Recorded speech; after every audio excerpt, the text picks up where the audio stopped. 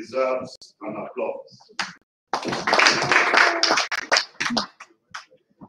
I thought someone with a baritone voice will be, will be engaged, just brief, uh, my brief, you know, citation that is not as rich as that of some of you seated in this room. Uh, I didn't know that the technical team had a good plan already. So thank you, thank you very much. Um, I'm also delighted to know that the this particular, you know, subject is a product of some kind of internal research by the NIPR, um, for which uh, some of us are. Am I okay without the microphone? Yeah. No. We may use the microphone. Right, we don't even have to stress on this. No, don't worry. Ah, I can ah. raise the ló ń ṣe volume. tó ń ṣe? Ẹni tó ń bínú kan lókè kan. use. Èyí bí ìdí kẹ́kọ̀ọ́ ṣe sọ pé sí ẹ̀ka. No, no, Check.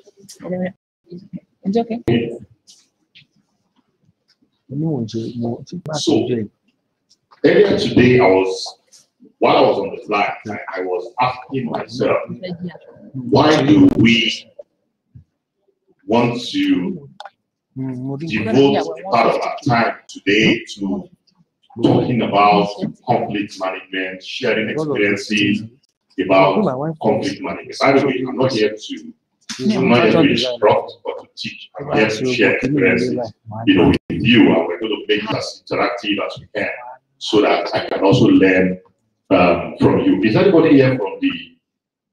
Anybody here from the DSS? Nobody here from the DSS. Okay. You're joining us. to come. supposed to know? No, no, we know ourselves. We know ourselves. We know ourselves. I haven't seen any of my colleagues from the from the DSS around, so I'll, I'll know the kind of examples to, to, to share. I don't want to get a call tomorrow. Then uh, you just see just see the DG at the command at 10 a.m. in the morning for a quick meeting. And by 9 p.m. I'll still be there. All right. Quite interesting that we're here today to talk about conflict management. Most of whom we always talk about crisis management, right? Hello? Most of whom we talk about crisis management because that is when um, everything has gone out of the roof and then we begin to manage it as a crisis.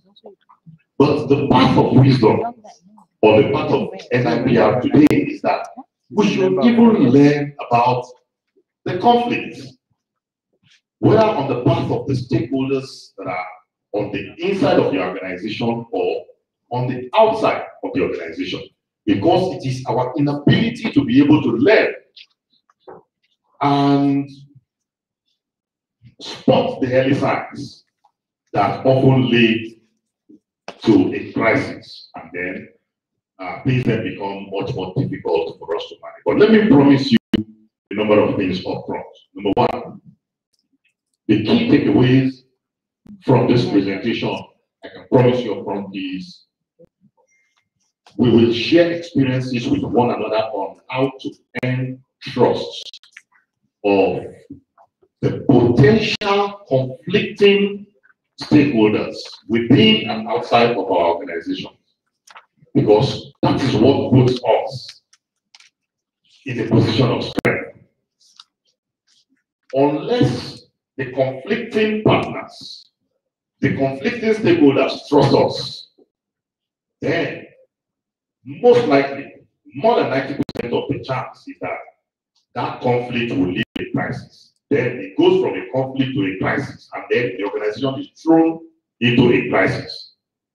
But if you can manage the conflict, the likelihood is that it will not blossom, snowball into a, a crisis. So therefore, you will we will share experiences among ourselves about how to earn the trust of conflicting partners. Because every organization, be it the NNPC, be it the Navy, be it um, even CFAX, there are probable conflicting partners, conflicting stakeholders who have conflicting interests in within within those organizations. Number two, we will understand the very character of conflict itself. Because most often we ignore the conflict, and then when the pain then becomes a crisis, we then start managing it. But usually, if we check the early warning signs, we will realize that they have been there before, but we just didn't pay attention. So we will also understand the conflict evolution stages, how conflict evolves in any organization. And then, of course, the conflict life, life cycle itself, and then understand even the idea of conflict management itself. And let me disappoint you a little bit. The truth is that even sociologists have said not all crises can be resolved. Not all conflicts can be resolved. You can't resolve all conflicts, but you can manage them. Right? You can manage them. This is settled among scholars. In other words, you will understand the process of conflict management. You will understand the very popular Thomas Kilmann's diagnostics for conflict, how to look at conflict, how to manage conflict. And then the skills, the soft skills we as the public relations practitioners need to be able to manage conflict within our organization. We will share them amongst ourselves. And it is my hope that when we get back to our offices, it's we are going to step into a new pedestal of influence. And that's the that's the reason we all we all pay money to be here. Uh, we don't want to get back to our offices and we continue with same of the same. The former governor of Lagos State, now the minister for works and housing, a day after, no, I think two days after he left office, I called him in the morning and we were speaking and he said, I want to say a special thank you to you. He said, you know what? He said, you are one of those guys who will go and make friends with my enemies so that I can be at peace. That is our role as the conflict managers in our respective institutions. That is our role. And once you earn the trust of the conflicting partners, then life becomes easier. Let me show you this announcement. I'm sure many of you must have seen this meme. Announcement. The reconciliation meeting has been cancelled because the aggrieved parties could not agree on the venue. This circulated widely on social media some months back. So they could not even agree on the venue of where the reconciliation meeting that will take place will hold. Now, you know what has happened there? I spoke earlier about earning the trust of probable conflicting partners in your organizations. Somebody has lost that position to be able to say, okay, all right, since you are the conflicting partners, let the meeting hold in my office. And that person is seen as a neutral person, and they all earn that person's respect. And this can be even amongst employees. And you just realize that somebody will tell you that, oh, the HR manager has already taken side with the other with the other camp. So I don't want to talk to her. And then the onus then falls on you as a public relations person who understands the process of conflict management to be able to solve this problem. So let's begin to take a dive into the whole idea of you know conflict. Um, I mean, they are natural, they are very natural, you know, and they are inevitable. Even as we are now, if we convert this hotel to big big brother house now, and we say all of us should be here for 90 days, you will see conflict. That's when you will know that when white people was speaking earlier, that all of us were clapping, then that's when certain things will suddenly just play up and conflict will start. Now, it is natural it, and it is inevitable. But the management process must be understood. And then, of course, it's complex, it's controversial, um, there is the conscious part of it, and there is the unconscious part of it. There are people who are conflicted with certain people, and they are unconscious of it. They are unconscious of it. And they are just conflicted with certain people, and they are unconscious of it.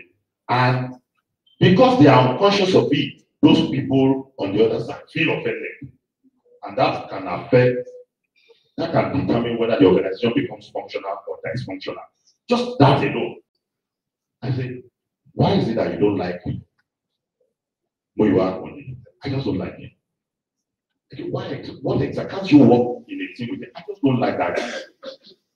And you know what? When you are on it, is oblivious of that fact that there is somebody, there is a stakeholder with me who just doesn't understand. But the good thing is that we are here today as public relations practitioners to share ideas how you spot those early warnings from just ordinary conversation during lunch break. And somebody makes an off the cuff comment about someone. You can see, you can pick the early sign that there are some conflicts here. And then, of course, uh, the eventual outcome of conflict can actually be adequately determined or predicted. You, you, you see those things, but you can't predict where is this going. We need to advise each other that should just this person from this department or whatever? But let's let, let's keep moving. You will see where this is taking us. So Henry Fletcher is one very respected American sociologist who said, who tried to define conflict and said the process or the situation in which two or more human beings or groups seek actively to threaten each other's purposes, to prevent each other's interests, even to the extent of injuring or destroying the other. I will share a case study very soon. Don't worry, just, just be patient. Let's go. So, then he also said, in the process of conflict, men struggle against one another for the attainment of the same objective. That objective can be as simple as I want to be the most influential person in this department. And then someone else also feels the same way. Now, can you see that they have the same objective, right? They both have the same single objective. And that single objective has brought them into conflict because you want what I want. It's like, as a single person, you see a babe, you like the babe. Your friend now mistakenly says it to you that I like that babe. I would like to take that babe. Why not start? This is as simple as how the exercise of conflict can be. So, a conflict situation most often can be multi people or multi person affair, and there is a conscious ambition to defeat or terminate either a second party or a third party or a, a third party's purpose or its interest at the expense of one's own. I want to make sure that in this department, when I speak, it's my voice that management listens to. That's an objective. But it has brought that person in conflict already with someone else who also has the same objective. That I want to be the most influential person in this department. So achieving this will reduce destruction or injury, conflict of interest, may be geared towards same objective, like I said earlier. The two of them may have two conflicting partners, may have the same objective. So Louis R. Pondy, a professor of business administration, has this to say. The conflict can take on any of several different forms in any business or any organization. It can be the Navy, it can be the EFCC, it can be the CBN. There can be conflict on the board. There can be conflict among board members, conflict among management staff. But how do you, as a public relations professional within the team, recognize this conflict? And it can occur within or even amongst employee, amongst individual groups within the organization. It usually appears as a struggle between incompatible or struggling needs or ideas. Sometimes those things manifest. They will disguise themselves into meetings as ideas. Um, I think the this is how we should prosecute the anti-corruption work next year. And so somebody will say, no, no, no, no, no, no, no, no, that won't work. You see, in Uganda, when this was done, in 19, uh, it never worked. Now, the truth is that, that both of them have the same objective, but they have conflicting. So they have disguised their conflict in the form of struggling ideas, competing ideas, and interests amongst amongst themselves. So, how does conflict therefore then manifest? Sometimes it can be very organized. That is when you call meeting and say, okay, let's meet, let's meet during lunchtime. You see that agenda that that woman was pushing at the management meeting today. We need to defeat it. Now it's organized. That kind of conflict is organized. Then there's the disorganized one. You just realize that those people were just pursuing their interest.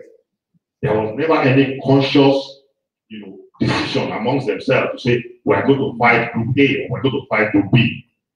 So that's a disorganized form. There's an enduring one. There's this transitory one that is just I just happen to and in a month it's over. Everybody comes back, you know, to to you know to relating well. The physical, there's the spiritual. Don't get it. Hey, one of the things psychiatrists have said is that about schizophrenia is one of the most difficult set of human beings to deal with is a schizophrenic patient. Now you know the thing. They wear suit and tie. Eh? They wear suits, they wear tie, they wear nice dresses. But the thing is that there are other they are they, they are operating at another level entirely. And you may just make a comment. And the other red, you know, in, interprets that comment to be that what he has just said is that you are not well dressed. so I'm, I'm, I'm, serious. I've, I've seen this. And the next thing, he will go to the office on a Saturday, carry his pastor, carry everybody, and they'll start binding, calling down fire, calling down everything. You know, and all of that. I say, this woman is after me. Ikechi Alibalogo is after me. Look at the comments she made happening. So conflict can be spiritual. So you can imagine our, our, lives, our work is not easy oh, as public relations people. So imagine, so we are also solving spiritual problems. and sometimes intellectual, the person just goes on to some dogmatic, you know, ideas that he probably read from Karl Marx even when communism has collapsed. And the man is still saying that. And you are discussing a social housing policy. And he jumps on it with his Marxist, Marxist you know, uh, uh, orientation. And then somebody says, look, this thing is not sustainable. I said, what do you mean? You are you are an enemy of the people. Now, you know what? What has led that conflict is is intellectual orientation. So this is these are the manifestations of conflict can be transitory, physical, spiritual, intellectual. Now, it can then lead to either the organization going through what is called either functional conflict and the dysfunctional conflict. Because functional conflicts tend to add to the overall performance of the individual or the group. You know why? there is some kind of underlying psychological feeling of competition. We need to defeat that department. We need to defeat that other thing. So you'll find psychologists and sociologists therefore saying that maybe, maybe there are scholars who say maybe this functional conflict, they actually grow for the growth of organization, but somebody must keep the eyes on on the conflict as they manifest. So in other words, especially when you look at large organizations like banks, you know, that will have different, you know, marketing teams, you know, and all of that, it becomes something, you know, very positive amongst them because they want to make sure that they defeat the other group in terms of their in terms of their earning. And the dysfunctional one tend to create hindrances, of course, to the individuals and then to the groups. So, what are those informal factors and societal factors um, that shape organizational conflict? Basis of different set of facts. Now, so the fact that Team A asked about that particular issue that is happening at AMCON is different from the set of facts that another set has. And so already a conflict has started.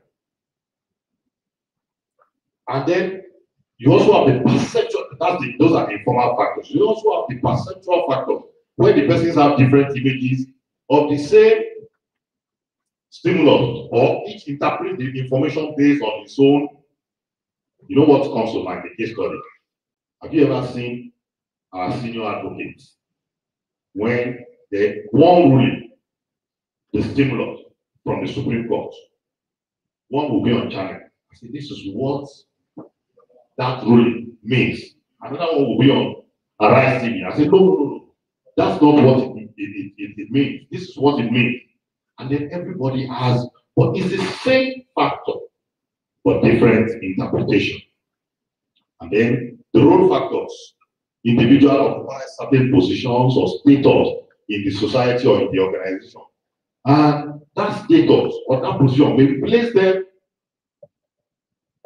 within certain constraints because of certain things that you know the the the I don't be accountants. They are usually the most hated people in most organizations. People don't like them because they believe that they're the ones not allowing us spend money. They're the ones not allowing us spend money. So that already their role, their role of financial controllers, their role of trying to establish control about how we manage our inflow and our outflow as an organization has brought them in conflict with some people. Some people want to spend money. Their name is Mr. Nintendo. Money must be spent. That's the meaning of that name in Yoruba language. Nintendo. And there's a financial controller who say, hey, no, we can't spend like that. We need to save for the rainy days. And which rainy day? It's already raining. Let's spend now. You remember it happened between the governors and Say that and the government. when the governor said, No, it's already raining now. Let's spend this windfall now. And the government said, Hey, let's keep it. Something may happen. So those are role factors. Those are conflicts that come off the back of role factors. Then conflict evolves through different stages. There is a stage, there's a latent um, when it is under the surface. And that is where our experience sharing really comes in- into play now. How do you spot something that is still under the surface? It has not yet happened, the conflict has not yet happened. They've not had an open quarrel, but there is a conflict already amongst our stakeholders, board members, management, staff. They've not expressed it openly. That is where we begin to spot early, early warning signals. And that's why we, as PR practitioners, can do a better job than even our colleagues in HR because we can listen to both the said and the unsaid. When somebody says, "Hmm," you know the person has not said anything, but you as a PR person, you can interpret that to mean that this person has reservation about this person, and so you can dig in for that. When Mr. Francis made that comment and left the room, you, you, this was your, your, your gesture suggested that you have, yes, I, I don't like it. Ah, so you're getting the early warning signals. Now, the HR people may not, they may not follow that lead. But we are PR people, we are trained in both the verbal and the non-verbal. Keep your eyes on the non-verbal. That's where the early signs of conflict usually reside. Keep your eyes on the non-verbal. At management meetings, outside of management meetings, at lunchtime, at social gatherings, when you have members of your team, keep your eyes on the non-verbal. When you follow your MD to a meeting where other directors of the company are, keep your mind, keep your hand, eyes on the non-verbal. That is where the early signs of conflict, you know, reside. So it goes to then the trigger points, spur of the moment, specific incident then happens. Maybe they then have a, a shouting match at the meeting one day. You now remember because you have been studying the early signs. We are trained as PR people to focus on the non-verbal. You saw how that person reacted. I think the pounded yam is beginning to take its toll on some of our members. Can we have coffee, please? So, and then it goes to the stage of conflict where assumptions now become open. She doesn't like me. She doesn't like me. Now, how did you know? No, who told you she doesn't like me? I just know she doesn't like me. And you know what? It's just an assumption. And then they move from there to labels. And what's meant by labels is when people begin to call themselves names. You know, names. They begin to stigmatize themselves with certain names that are not complimentary. Hmm. Peacock. Peacock. She's coming. Peacock is coming. Or because you, the other person, is an introvert. And then the other person is also a mild introvert like me. You then call us parrots. We all hear these things. Those are warning signals. Those are early warning signals. Focus on those things. When you begin to hear those labels, focus on those things. Those people have conflicts of ideas, of interests, and all, and all of that. And or when they begin to build alliances, the in Yoruba balance, they say, ah, I want to be my own group under the same company, same corporate philosophy, same vision. And then you begin to hear, ah, my inner circle. Once you begin to hear it as a PR person, focus. Those are the early warning signs that there are conflicts. There are conflicts. Yes, sir.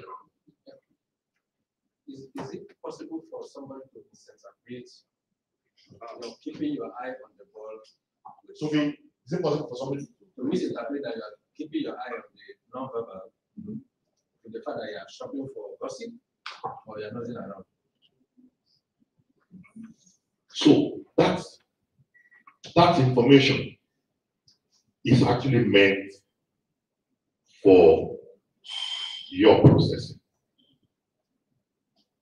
Okay, let me give you an example. Last week, are we streaming online?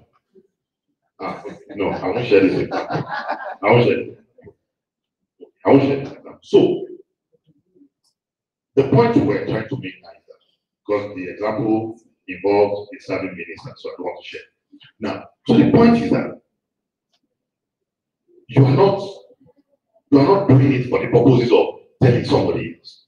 We're doing it because that is our own calling as PR practitioners, that we are also conflict managers.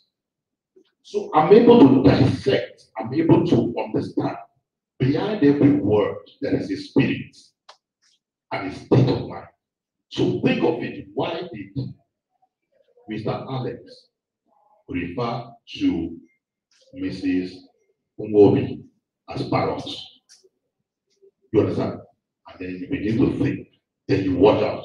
You will realize that if you keep your eyes on on on that person very well, you will see some consistency that will tell you that there is a conflict here brewing and our own role as PR managers and as conflict managers is I mean there are multiple ways you can you can decide you can deliberately decide to start planning some social outing with the two of them.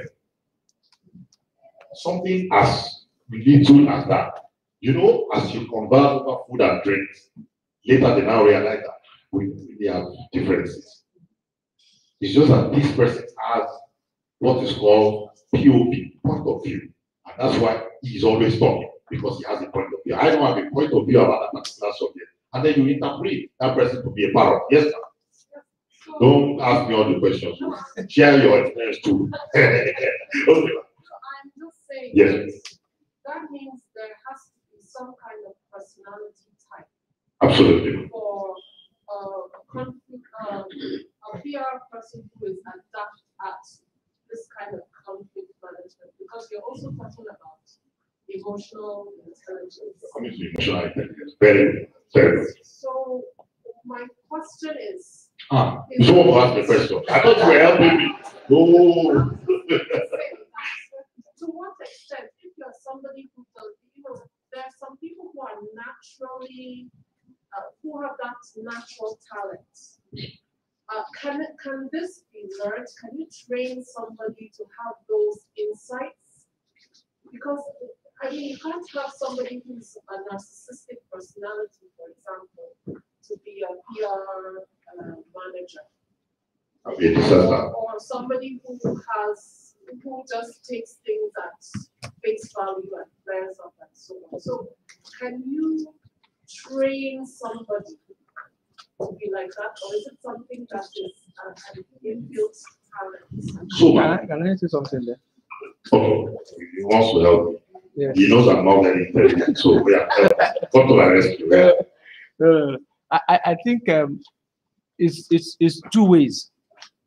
Now, I, I, I'll, first, um, A question, can you learn it? yes, it's two And ways. is it can, something that comes, is it something that's just innate? so it's, it's both inward and can be learned, but now depends on the Thank you. deliberateness of You the have, person. you have actually answered the question. It's both innate and can be learned. There are forms of materials of emotional intelligence, you know, online today. And uh, there are books on the emotional intelligence. It can both be innate. There are people who are just gifted. There are people, and mostly, let me say this to the credit, mostly women. You know, if there is a narcissist, if there is a narcissist amongst us here, if there is a narcissist amongst us here, the first person that is likely to notice that person is a woman. She may not say it. From his chasing not necessarily so. Not necessarily so.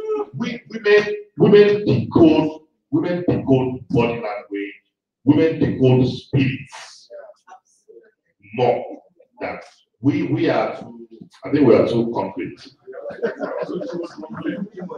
But we have, we have our own rule. We have our own rule.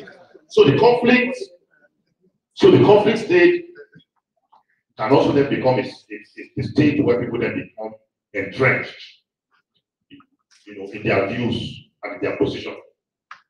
I'm not going to change. There's nothing you say about it. You cannot convince me. They become thing now.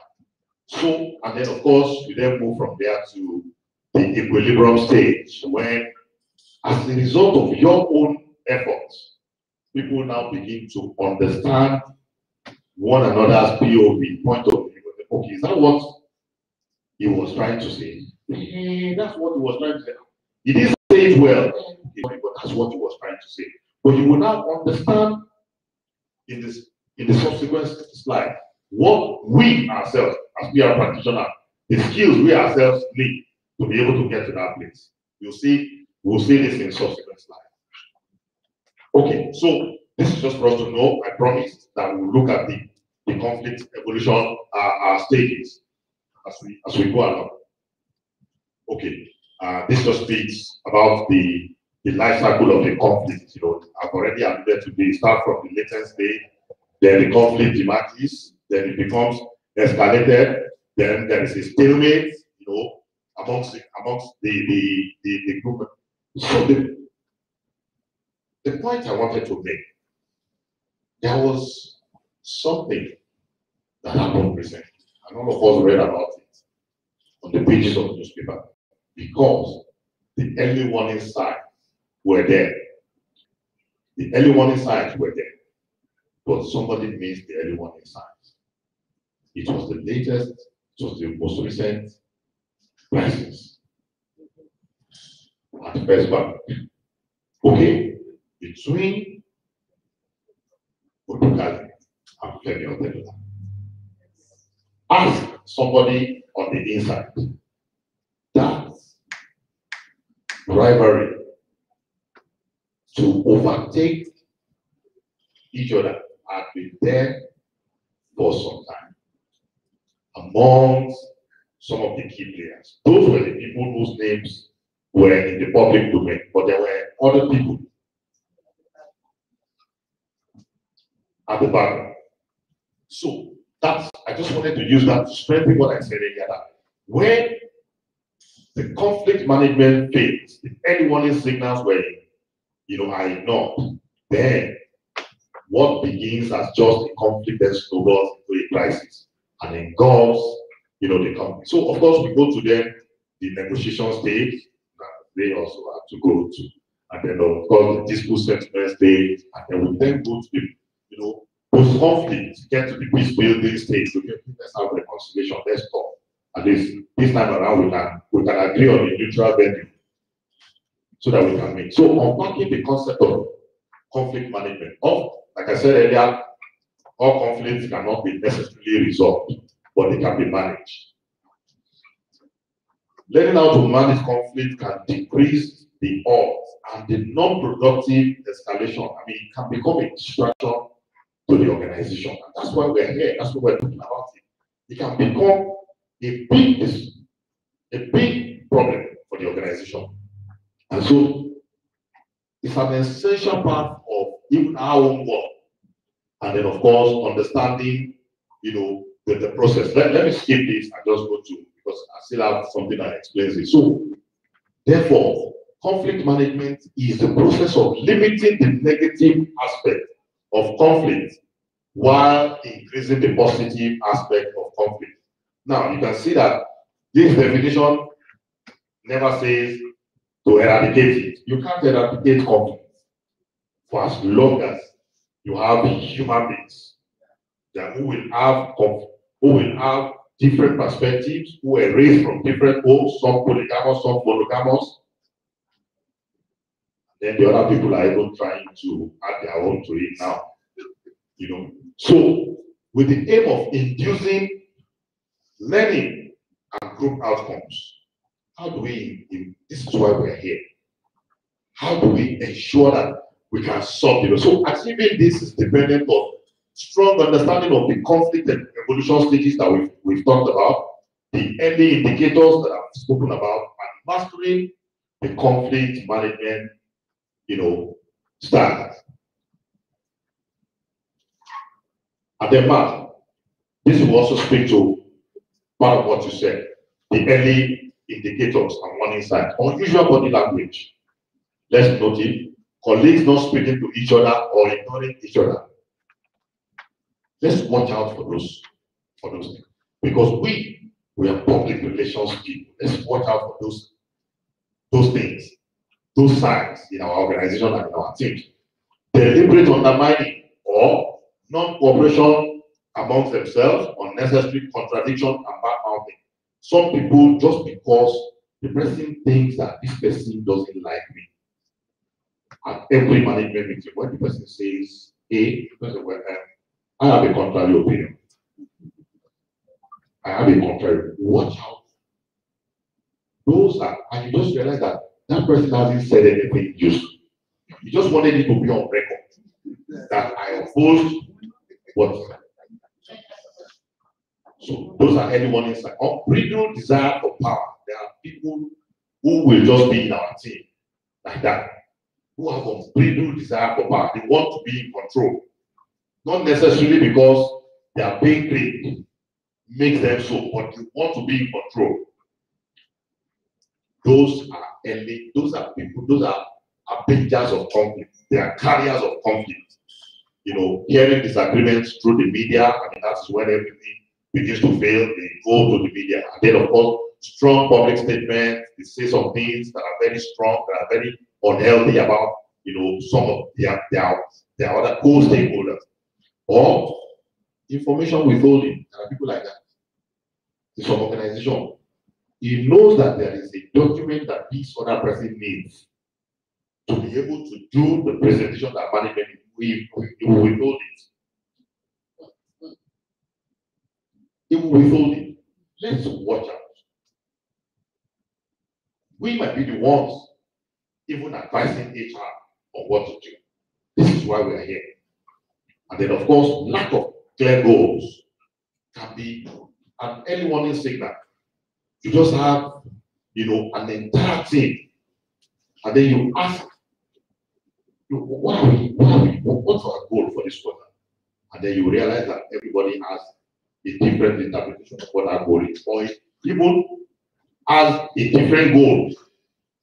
It's an early warning sign that that organization is, is heading for, you know, full-blown conflict. And then, of course, factional meeting, factional meetings on general issues.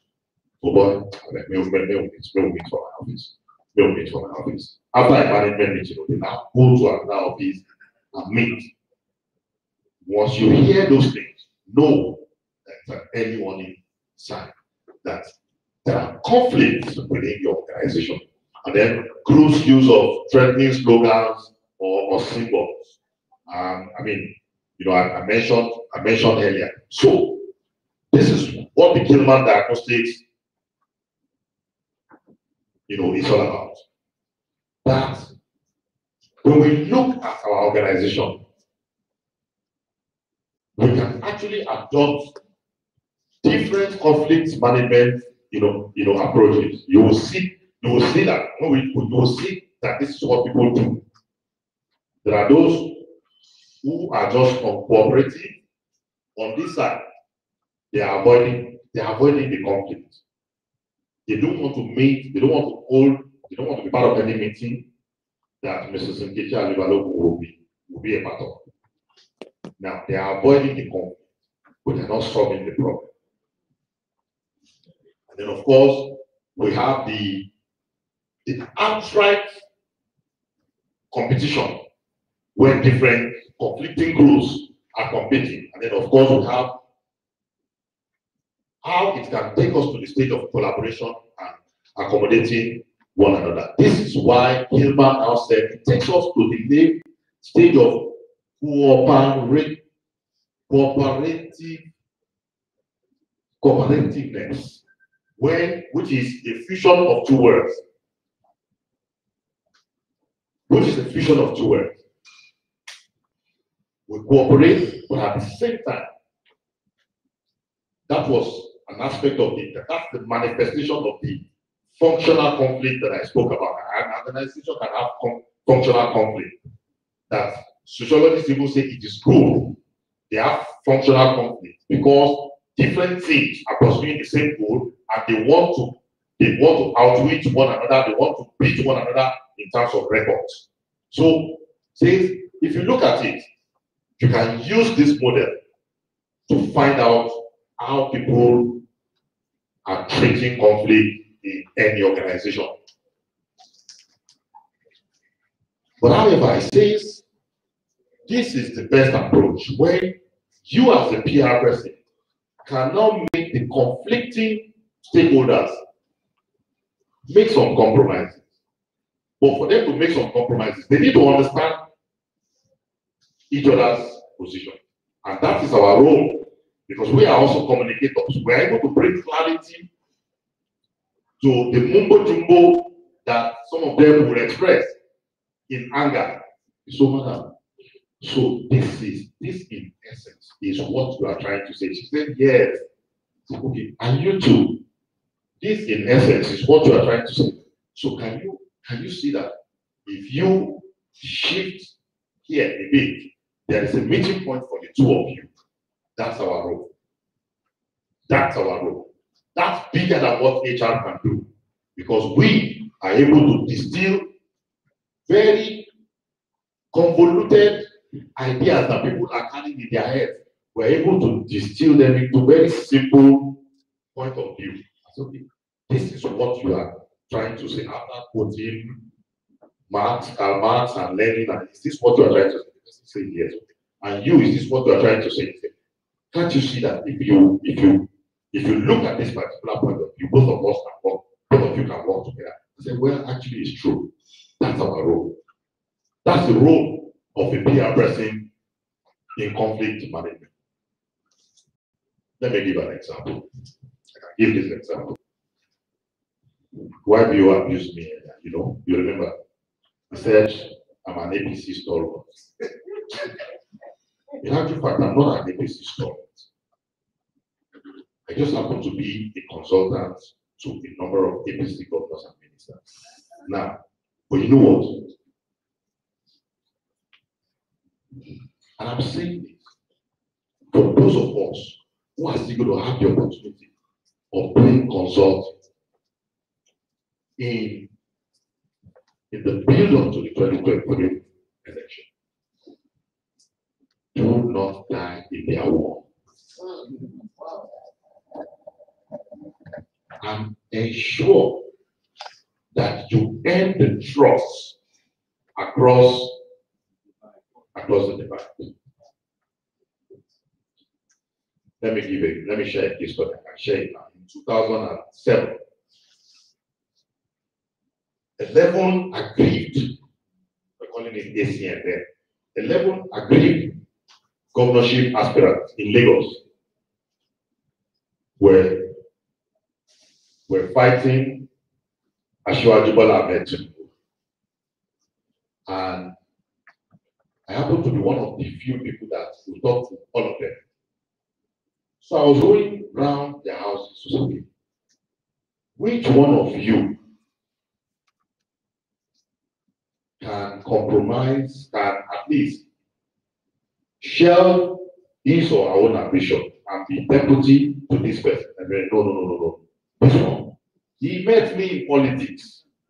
I've been in politics since 1979. How can I be a deputy to no, no, no? So I was going around. So you know what? I earned the trust of all of them. So I could go around and I saw that they all had conflicting points of view. And I knew that they would never succeed. And they never succeeded. And they never succeeded. Today, so that there's a, excuse me, sir, off the mic, Guy, I saw him on Facebook abusing a particular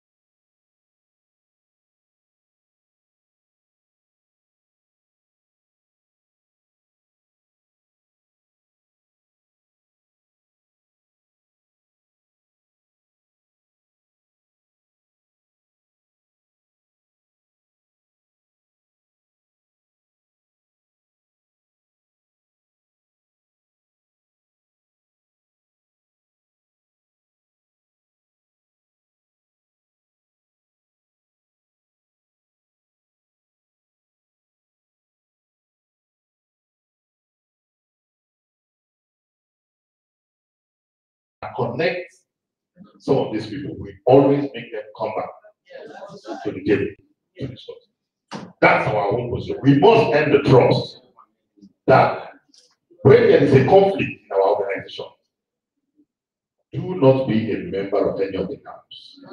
Be the one that all the camps will trust and they can talk to. Yes. Um, Mr. Fayemi, I totally, I'm totally enjoying this uh, presentation. Thankfully, this is all. So you can share for us. I'm actually looking for specifics.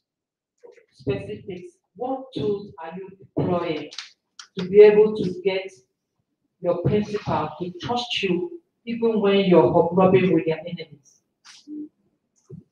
I want you to tell us what tools are you using, you know, just something we can, we can work with, practical steps.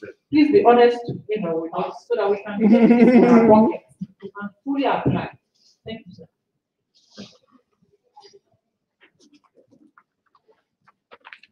Okay, I wa- I wanted to reserve my question for the end before, but since you are taking some questions, and mine is related to hers. You know, when you started, you talked about um certain times when there is something that looks like a zero sum game, where two people are in conflict, but your gain appears to be my loss. You gave an example of maybe two people are looking at a babe or something.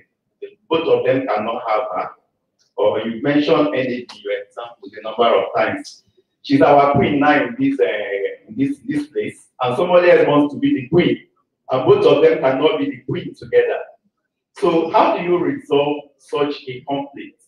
Especially when such people have not read uh, Stephen Covey's book, knowing that you can think win-win, and they don't know uh, what Skye Bank was talking about when it was that the sky is big enough for all of us, and they believe that I must get it, and you also want to get it. So how can you resolve such a conflict? Thank you. One, one word, one word answers both questions. And I'll be totally honest with you. One word answers both questions. Or a phrase. Your trust quotient.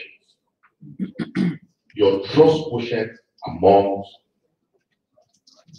completed partners. Once it is lost, then the game is lost.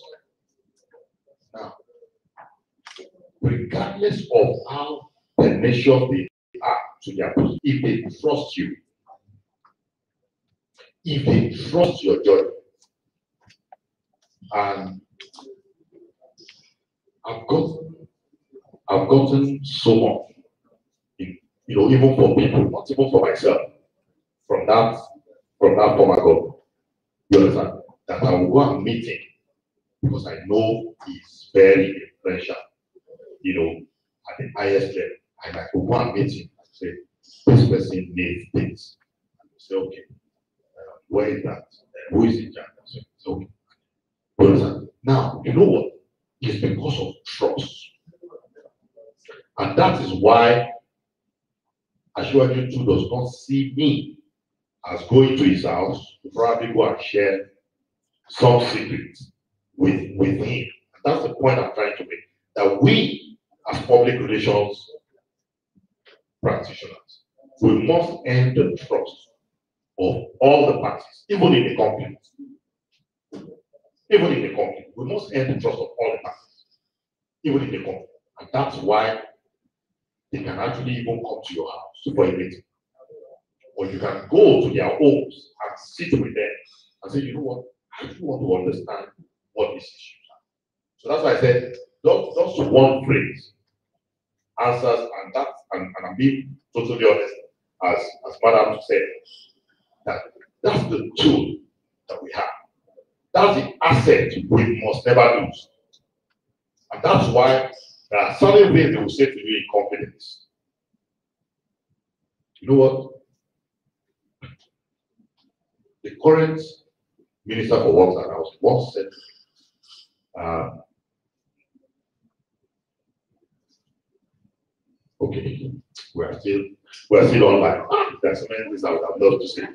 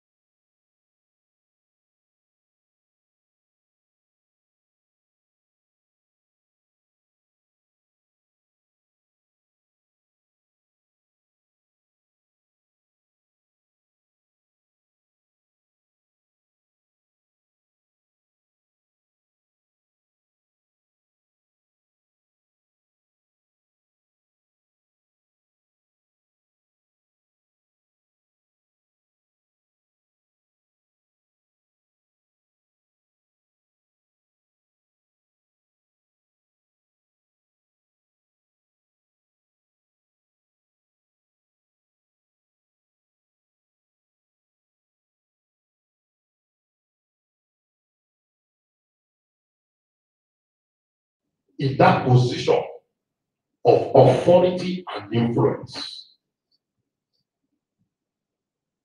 That when the serving commissioners cannot tell a governor things, they will call you say, please, go and help us speak to Mr. Governor about this thing. We don't want him to attend that event.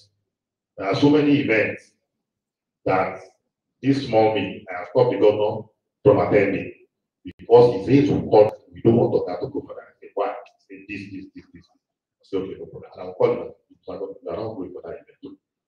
You will send a representative. So we must also get to that level of trust. And so that's why I say our trust quotient. Yes, sir. Thank you. The theme of the conference is communication for the twenty-first century leader. Hmm. Uh, she asked a question about qualities, whether they ought to be innate or they ought to be acquired. Some years ago, when when I, when I, when I got married, my pastor was the sole counselor. Shortly after that, maybe because of the size of the congregation or something, they formed what they called a marriage counseling committee. And I was a sole campaigner against the marriage counseling committee because my argument was that my pastor was trained to keep secrets. Those marriage committee members are not so trained. Question I'm asking and I'm thinking aloud. Is there something in the training of public relations personnel that requires that we have this skill of keeping secrets so that we can always be trustworthy when parties are in conflict? Thank you. Maybe you you will not kill me with this question. Why do you? There's something, there's something that you tell us to be able to see as public relations people. Well, um, like I said, we always forget that bigger part of our work is counseling. You know, we're busy doing media relations, we're busy doing events and so on. It's counseling. And a, a very important part of that is one, like I said earlier in the presentation, logic analysis. And the secret, so public relations cannot work effectively in an atmosphere of distrust. The reason why people are turning to you, let's follow what he said, why somebody, he may, the, the governor will check for his message only because he trusts him as a source. And in trusting him, we need to do our own information management, which includes what you have said. What do I say? And I think he also said that he's going to talk about emotional intelligence. So it's not everything you know that you say. And you're right. It's the liberalization of some aspects of religious services that makes us do this kind of thing. That people who are not trained are supposed to be marriage counselors. Somebody who is not managing his own home well. He's a counselor. You understand? You know. So I, I agree with you. I think that you remember what I said. This is a jack of all trades and master of one. It is not even all, many, many. You know, there was. I'll just round up with this. Uh, sorry to use myself as an example. There was some lady who was with the Lord in my church for a child. And then she told me when they called me aside and said, Ah, thank God, God has done it. I've taken it. Ah, congratulations, Daddy. Don't tell anyone who. So I kept quiet. So maybe about a few months later. By the way, my wife kept on asking me, what's wrong with this lady? Is she pregnant? Don't?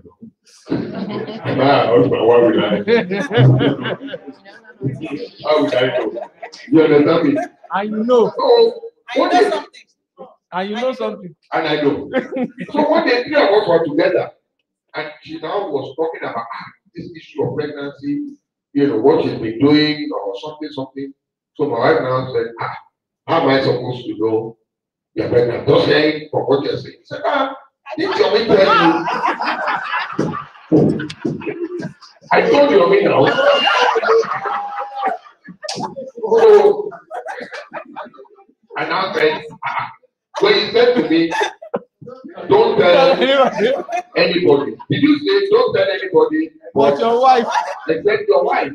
He said, no. I said, you told me don't tell Anybody. anybody, and I didn't tell anybody.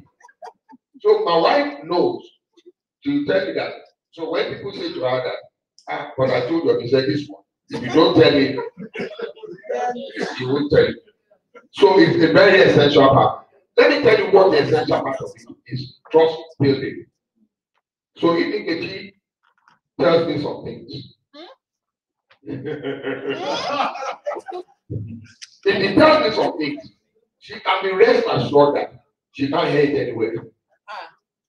She can't hear. And one of the things that um, we must do as population practitioners, we must listen more and talk less. Because when you are talking so much, you tend to spill. So I, I, I let me finish on this one. Quickly. My mother-in-law was the first registrar of the University of Lagos, female registrar. And a friend of mine became the pro chancellor, uh, Senator Lanre Tejuosho.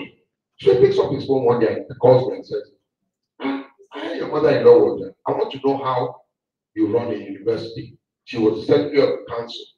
I'd like to meet her to tell me blah, blah, blah. So I fixed up the meeting for him and I. Then my mother-in-law saw me later and said, you know, that man is very remarkable. Do you know I was talking for two hours? He did not say one what he was just writing. He was just nodding he was not writing. You know, we must stop. You can't be doing my Rolls Royce bigger than your own. In such a way that your client or your or guy is telling you something, and then you know that that what you are talking is small. If you see what happened to me, you know. So I I just feel that um, that's a part of it. Thank you. Okay, so I think our, our, our time, okay, seems we're pounded yam You're, you're still more has than. failed. Everybody say that. Still I more I than. just want to add one or two things that helped me when I was in the public affairs function. One of the things I did, okay, my best definition of PR is the Mexican statement, and recently the Chevron statement. So the Mexican statement was like a Bible because it spells out all the things I needed to do as a PR, as a PR practitioner. Sorry, my voice is shit. I'm Eh,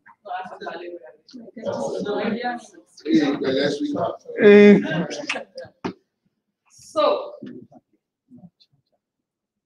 as a PR practitioner, you must counsel. When do you counsel? How do you counsel? Why counsel? So, which means that you must go and study counseling.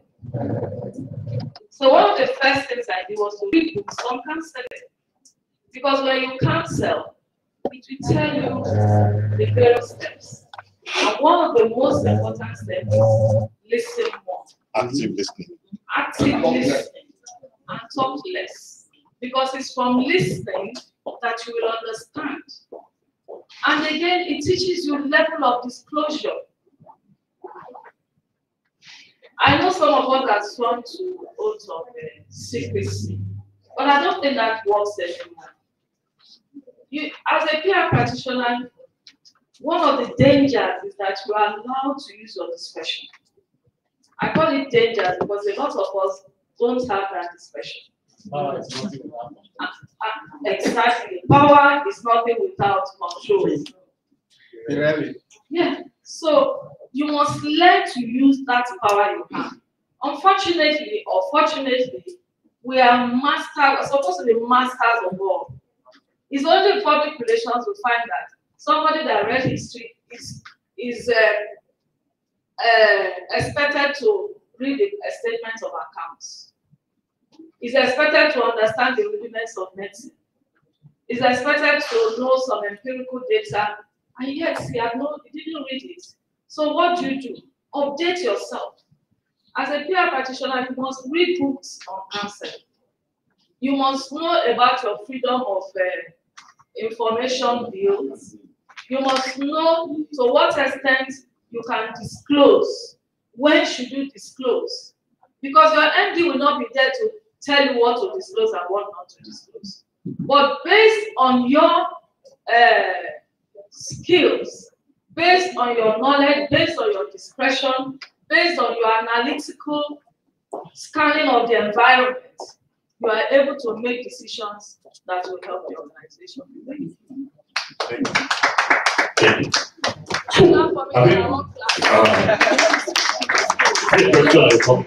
So, let's, so I, want to, I want to make sure that I I round off so that people, uh, we can make more, like I did say, it's not a lecture, it's not a, it's not an instructor's role I'm here to play, it's about experience sharing. So, these are some of the skills that we also need. She alluded to one of them already, active listening. Um, there are people I met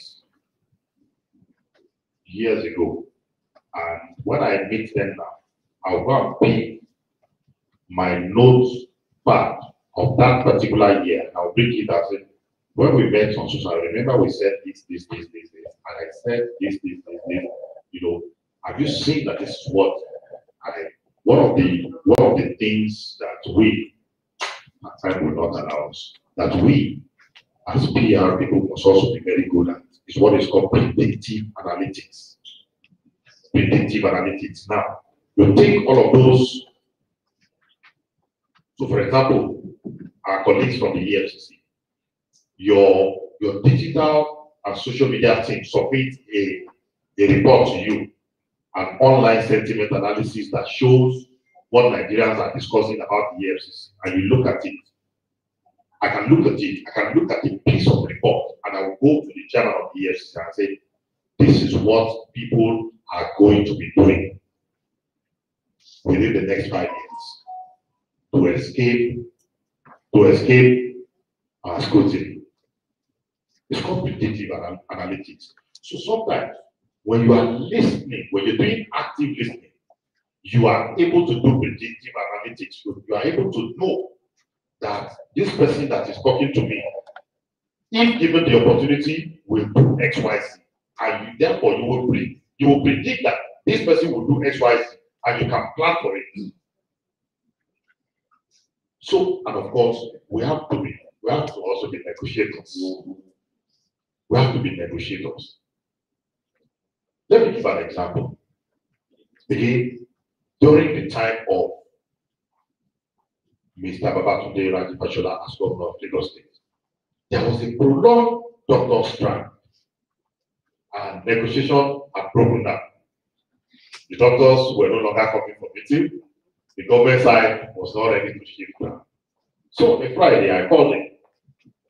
I said, Your Excellency, I said, where are you? He said, I'm in the office. I want to come and see you. He said, okay, you can come. So I drove straight to his office. He said, what's up? I said, now I want to bring the doctors back to the negotiation table. He said, ah, please, if you can I will be more than delighted. And I left his office in less than 15 minutes, made calls, and by Saturday, I brought the doctors back to the negotiation table. Now, because they just needed somebody they could trust, who had the, the governor's ear to be able to tell the governor that this is what the HOS and your health commissioner are not telling you. And so I collected all of, I, I sat down. I'm talking of, I'm not talking of it, I'm talking of a meeting that started on Saturday around twelve on that, on Saturday and did not end until two fifteen AM Sunday when I was driving to my house. And by Monday, the negotiation has resumed fully. And you know what? We have to, okay, so what are your demands? Which ones? Let us prioritize these demands. Which ones are the most important that you think if the gov- government makes this one, two, three, you can go back to work, and then these other ones can be done. So also then spoke with the head of service and so which ones are your own grounds that you cannot, that you can shift? So we met with both parties and okay. And then there was now one tough condition. The doctors now said they also wanted to be paid for those months they did not work. So Mr. Governor now said they can go to places. That as a matter of fact, if they insist on that, this this will begin the process of recruiting new doctors. Next, I said, no, we will not do that, Mr. Governor. Said, I'm traveling. Said, call me. Said, I'm going to Australia. Said, call me anytime. This current governor was working with us in that thing. He was the commissioner for establishment and training there. So then crafted the final resolution and, and all of that. Can't remember what time of the day, but I, it was here, but I know that by the time I was calling, by the time I was calling the governor where he was, it was around, it was around three AM or so. I said, so we'll closure. I said, and they have decided that they will not insist on getting paid. They will not put it in the communique, but I appeal to your magnanimity that we please pay them for those period, and they will also work extra hours so as to be able to, and they are paid. Now, again, what worked? The two conflicting parties had somebody they trusted. You know, so that's why we must never joke with our, our trust quotient. And of course, I've already alluded to written communication because sometimes when people are angry, they they they go to the realm of the spirit and start engaging in mumbo jumbo and they can't even articulate themselves very well. Okay, can you write? Can I write down this demand for you? Say, are these the things, your point of pain? Yes, yes. Thank you. Then you go to the other to ah, tell me your pain points. So that person also, you do both. Okay, can we eliminate this? Can we do this? Can we can we do a win-win? So, and then of course, why you have already said this, which is also linked to number one, attentiveness. Even when you have the privilege, why you often ask of going into some to see some governors and holding his phone, ensure that you you treasure that moment as your moment as an advisor. Or you go to see your CEO and enjoy that moment, treasure that moment as an advisor to him who is able to say, Sir, I think we actually need to visit this policy, sir. And this is why you give him the reason because we talk about that, that I always go to any meeting, I go prepared, armed and dangerous with all my facts, all my figures. Just give me 10 minutes. I always ask for 10 minutes. 10 minutes, one hour, we're still there. Sorry, sir. Yes, sir. Just on the same issue, the trust motion. And a lot of uh, responsibilities on, on you as a parent. Have we considered the, if you're dealing with a principal that? Okay, that's a very good, that's actually a very good question. So let me, let me tell you, I've dealt with such. Let me tell you what principals that have trust issues often.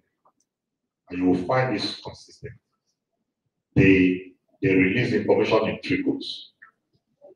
Huh?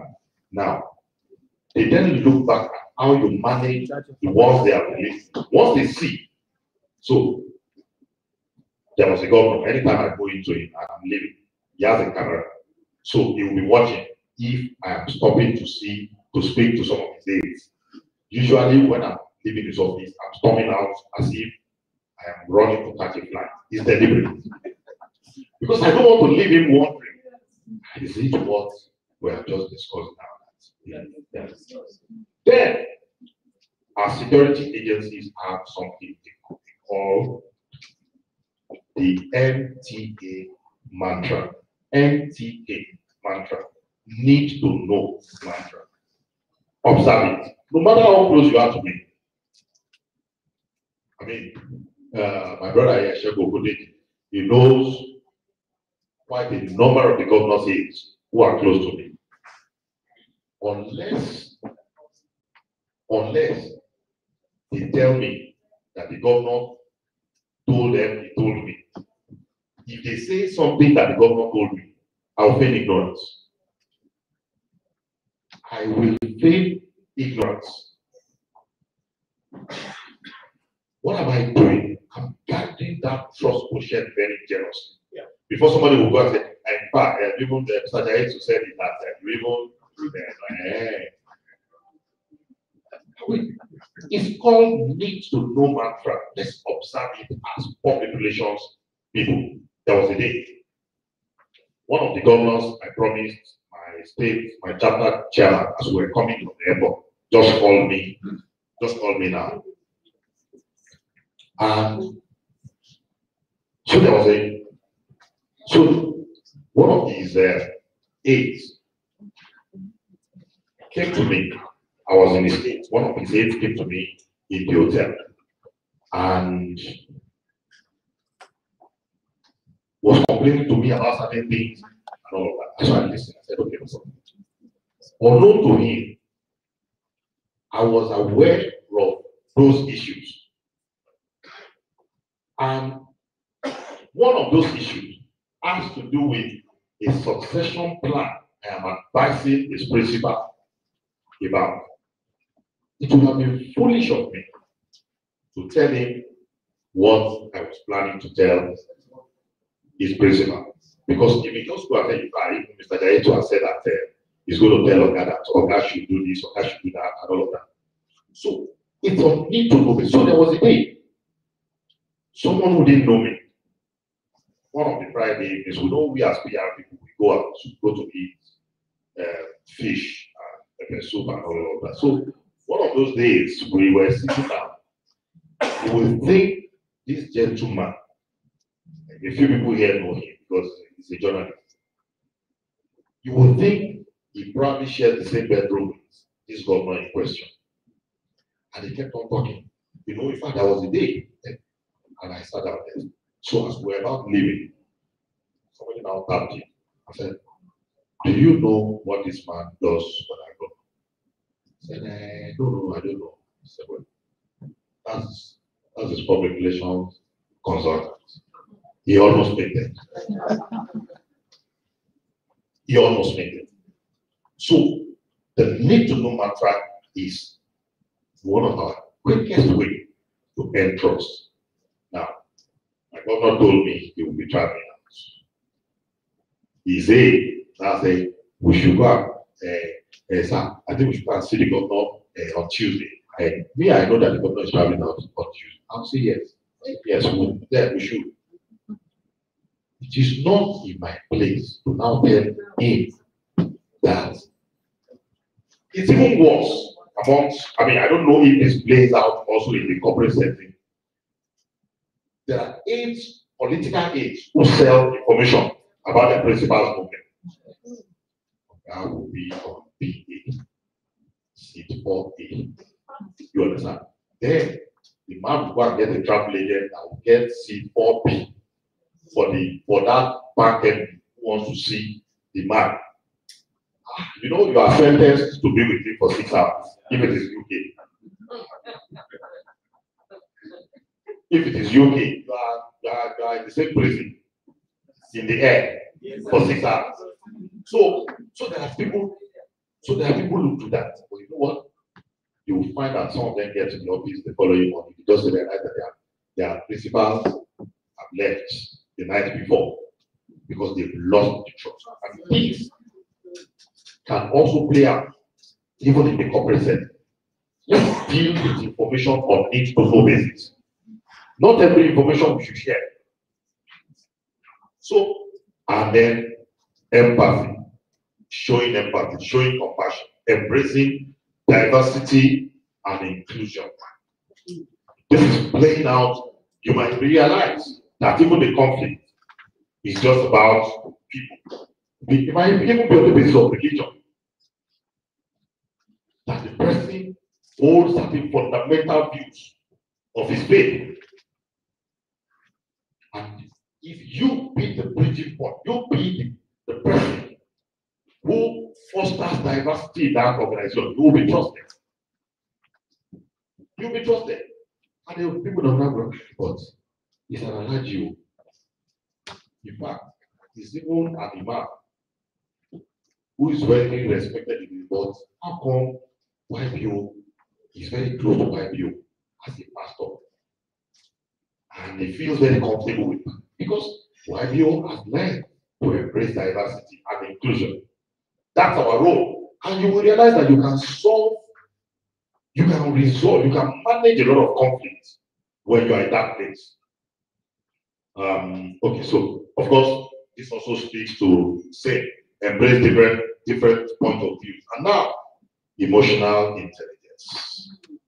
There, are, there are tons of materials on, on, on emotional intelligence. There was a day we commissioned the report for again the government.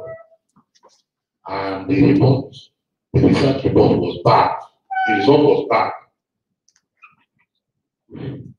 Nkechi, um, um, Nkiru Ojo knows this story. Said, ah, no wonder this man trusts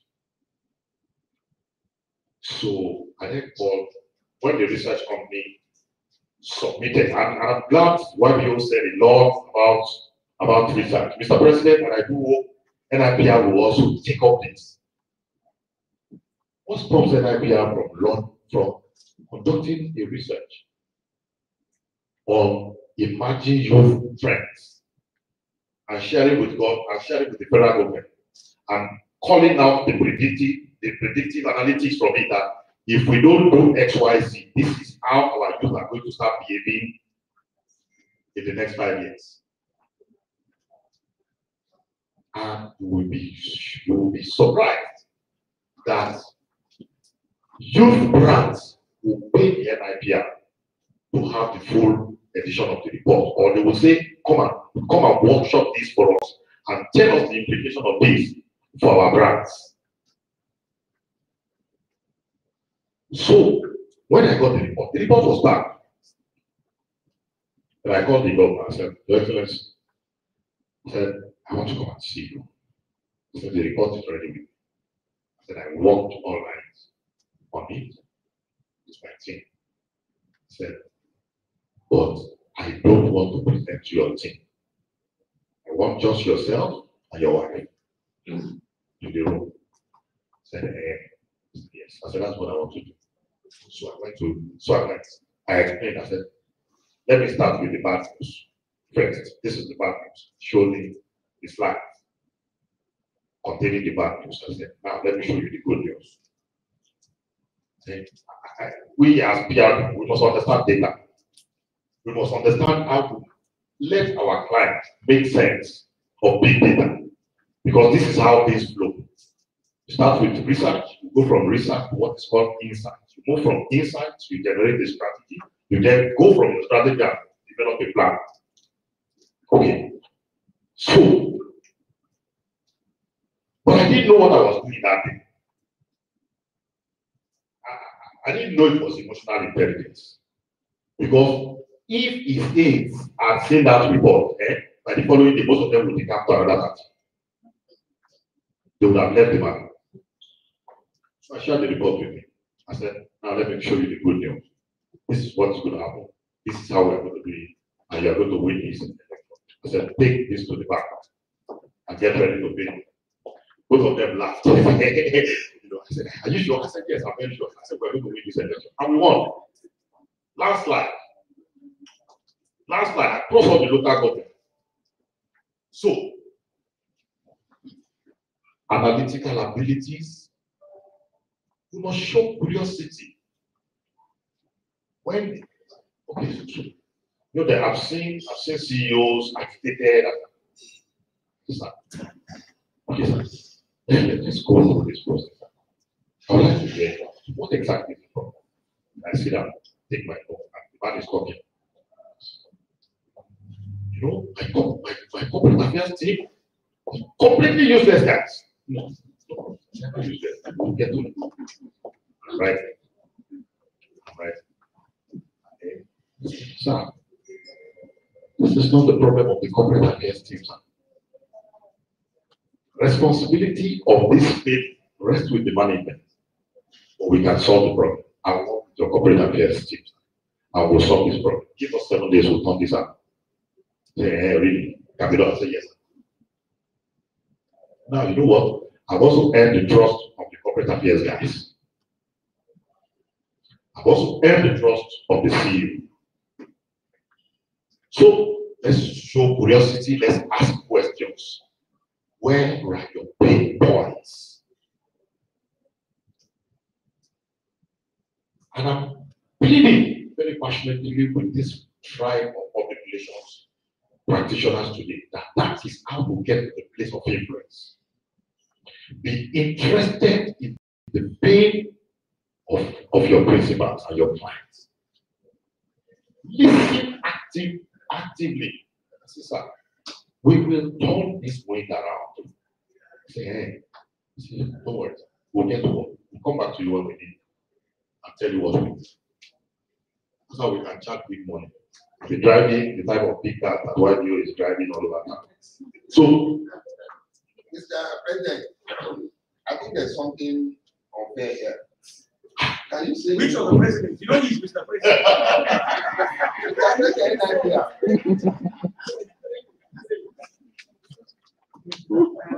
It's not our problem, conflict among presidents. so let's get into problem. Let's put on the problem solving cap on it. Tell us where there is money.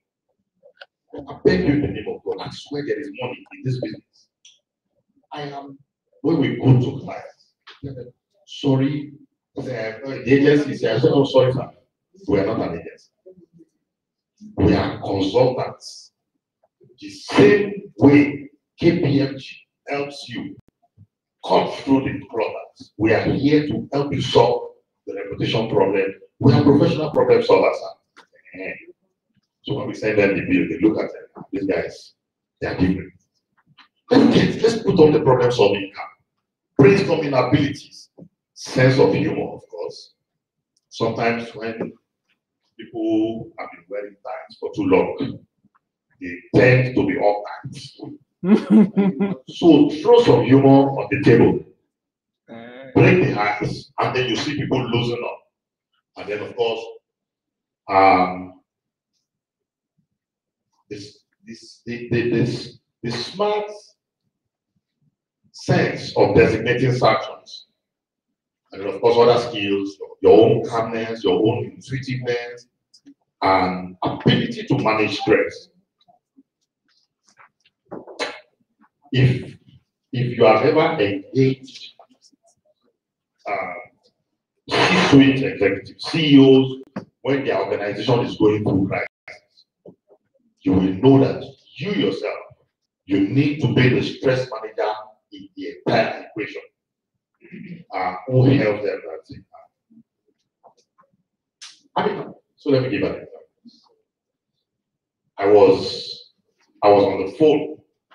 I've just finished a conversation with the governor of Lagos State when the 21 story building, you know, came down. It was going upstage in Rome to deliver his speech. And by the time he by the time he got in, he drove straight from the airport straight to the site. And he was there till past one year. And by seven o'clock in the by seven o'clock in the morning, He was on the phone again. They had seen something I sent to him at 6:30. He quickly called me again and said, okay, uh, I said, sir, we need to set up, you know, a situation room right there um, at the counseling desk, bring professional counselors, do this, do that. Said, okay, call this, call this commissioner, call the commissioner for information, tell him that where you were at school, tell him that both of, you just what. And those things were set up immediately. All the government officials, those things were set up. Now, and then I said, he said, call me, call me, update. I said, "Mr. I'm not going to call you. You need to rest. Sir." I said, you need to rest. I said, I will call you in the evening. Because he had not slept from that time that he got back to the, to, to the state house at a few minutes to he was awake again in the morning. And he came back at past eleven to the site of the crash again. I've been told my time is good. So we also need a lot of patience. Separating ourselves. That's why I said, don't die in their war. Don't get involved in, in the camps that they form. We versus them, don't get involved. Make sure that you are the trusted neutral party that all the warring factions can talk to. And then let's begin to close with this word of Max Lucado says, conflict is inevitable, but combat is optional.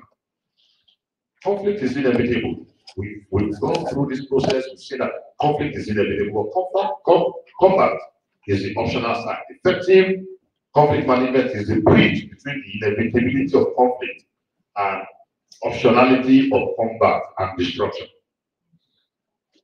Thank you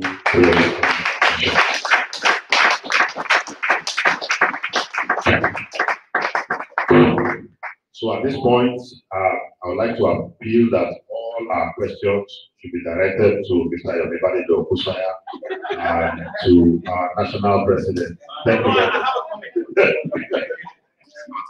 But I'm not gonna answer the question. Okay, Let me- take my comment. Okay.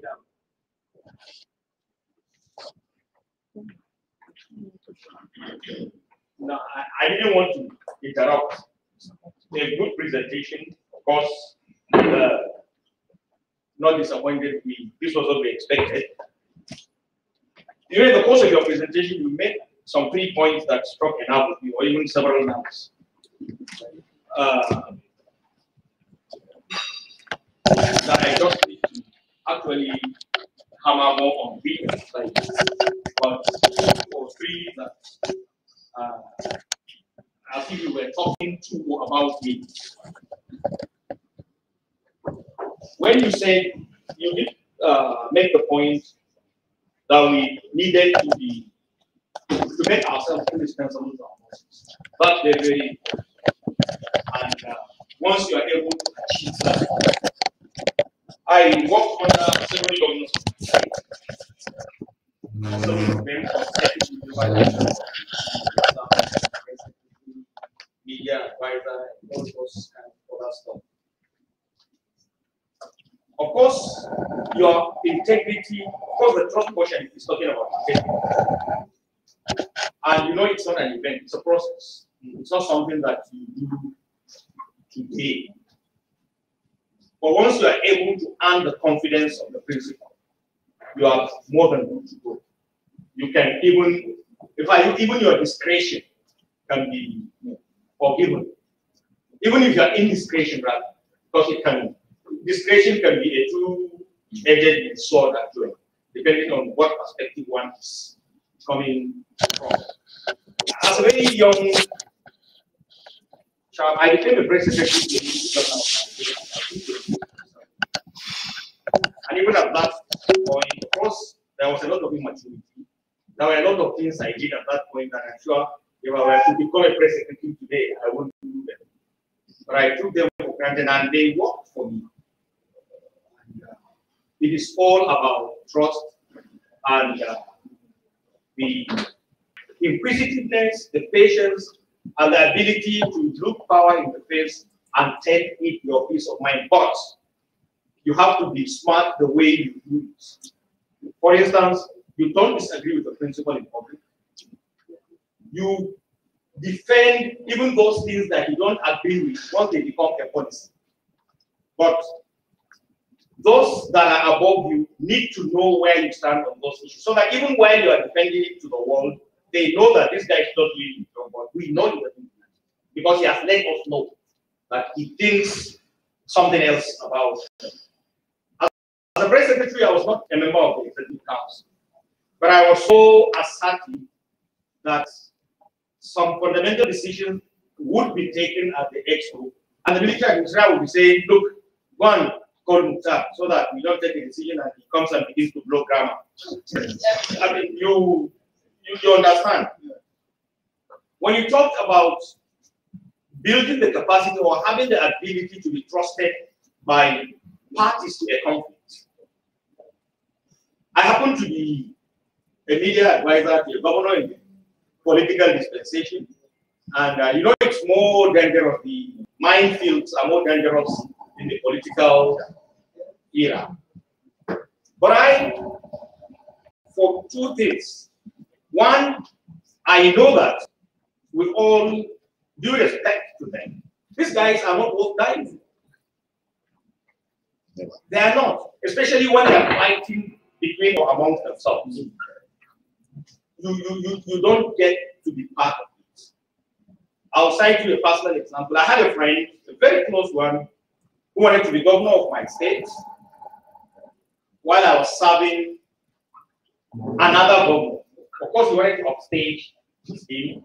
As a friend, I knew there was no, he was not going anywhere, but he was being sponsored from upstairs.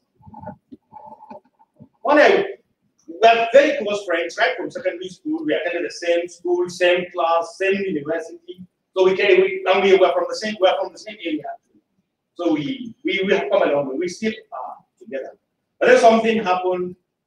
We, I had a chat with him in his house. So he boy, this thing you are doing.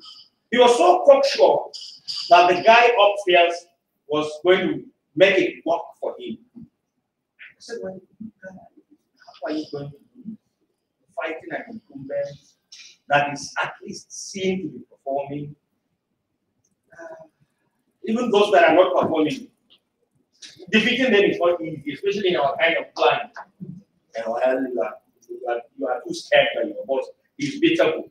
I said, I believe he is beatable, but I don't see you as the one that. So we had that.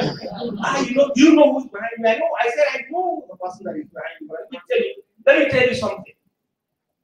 Do you know what is uh, backing you? He said, No. Tell me. I said, He's backing you to come and keep this governor here busy because he has heard that the governor is after his own seat somewhere. And once they are able to come to some accommodation, one day, one day they will want to eat and they will ask me to excuse them. I didn't know I was such a prophet actually. And something happened about a year and a half or two years later. It didn't turn out as they wanted to eat. Of course, they had made up. All of us, including that my friend, were on the underwear of both of them. We came back from the function, and um, the bigger guy looked at somebody and said, ah, of course, he was a party chairman that he asked.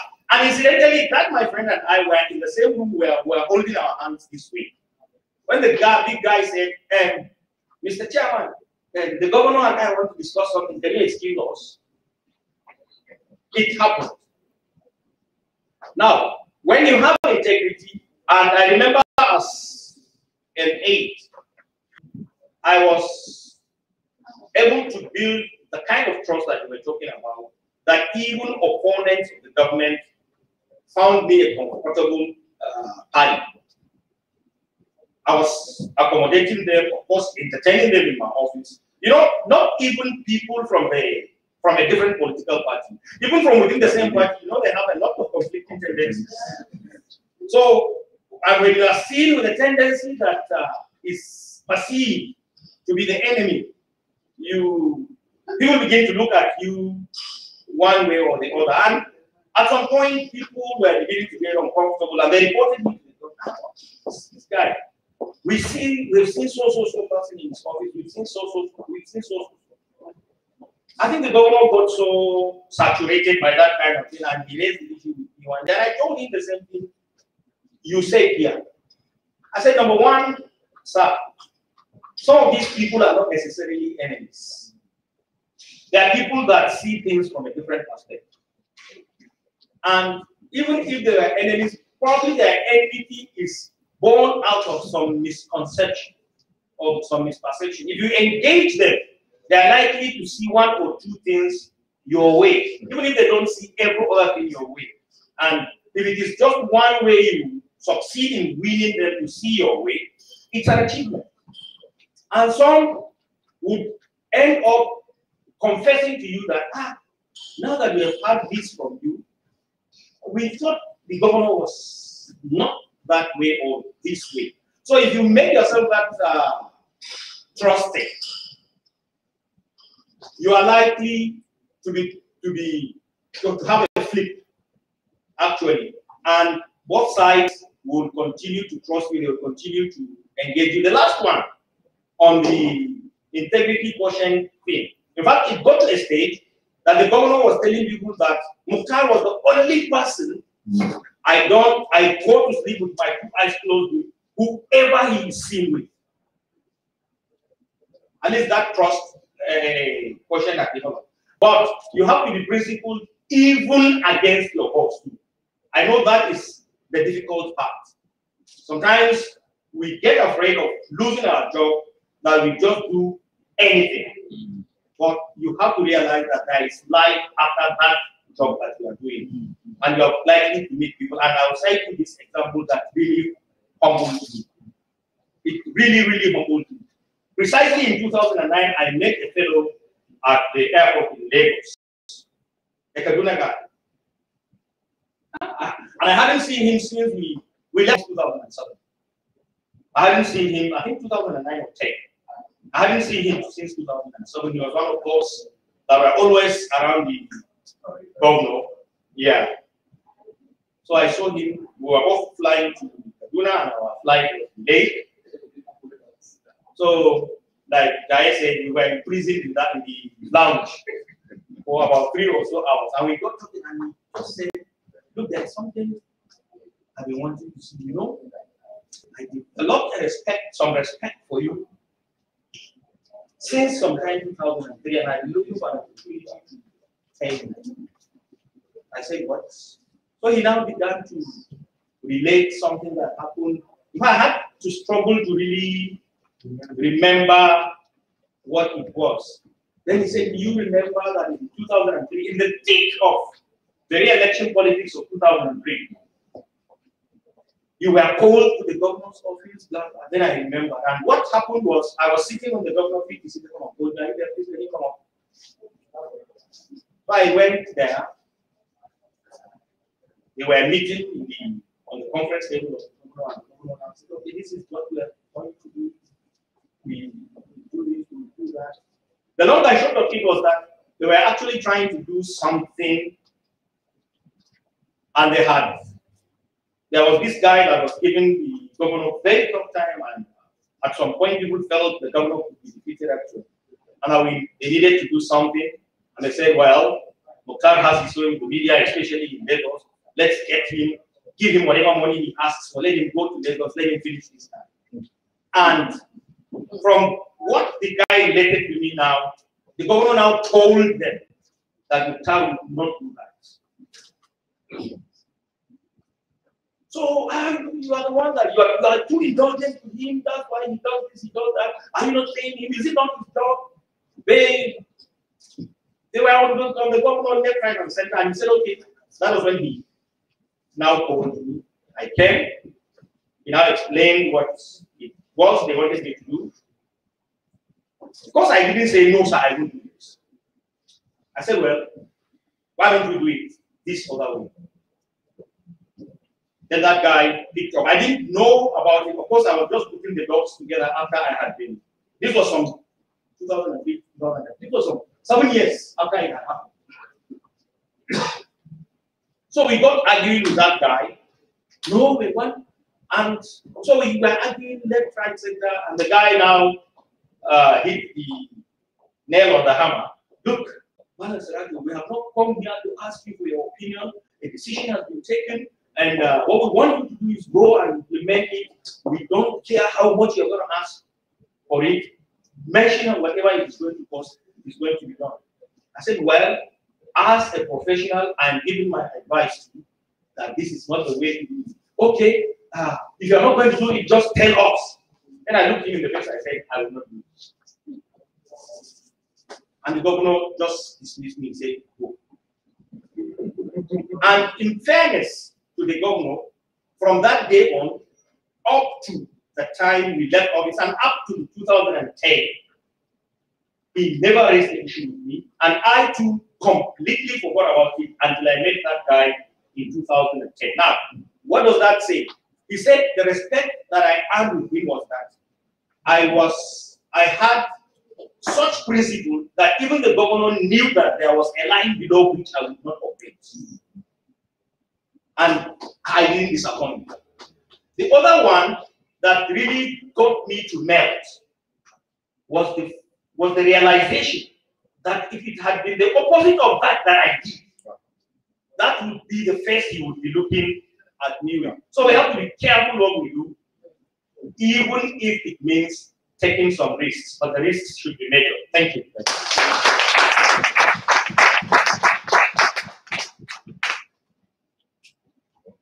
So here's the rule of protocol for me to be talking after the president has spoken.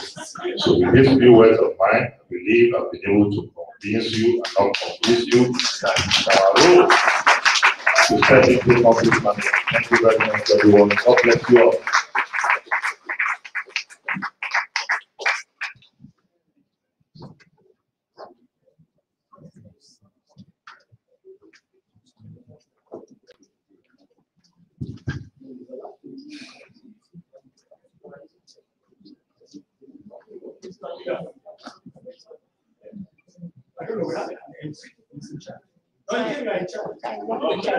Thank you very much. Please join me again in applauding Jai for a wonderful presentation and for keeping us all awake in spite of the pandemic and so If you have programs with you, you see that we are gradually coming to the end. And I think it's his presentation already incorporated all the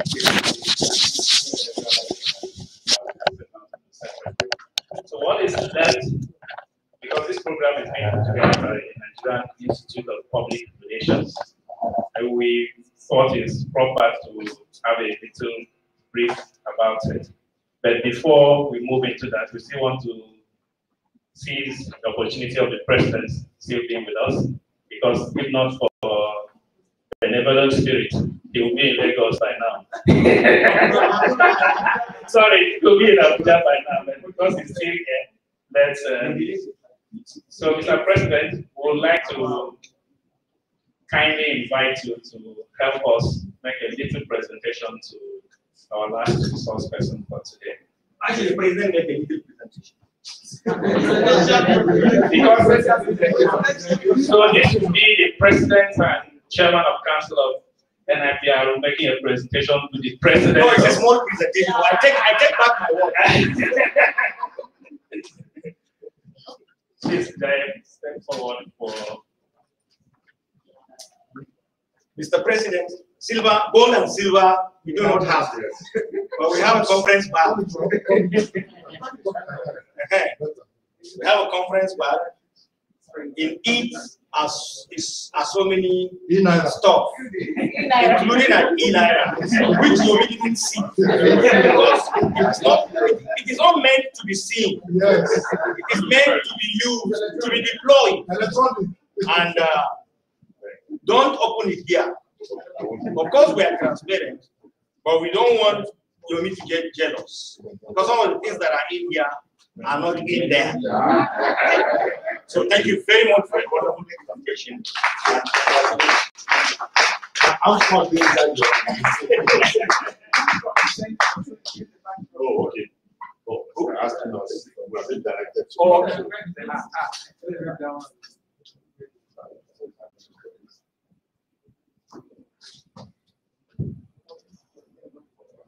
Thank you very much to the two presidents. I would now like to invite Barrister Karibi George to just present a few highlights about what NIPR is, what it does, and what it stands for. Briefly, let's welcome him.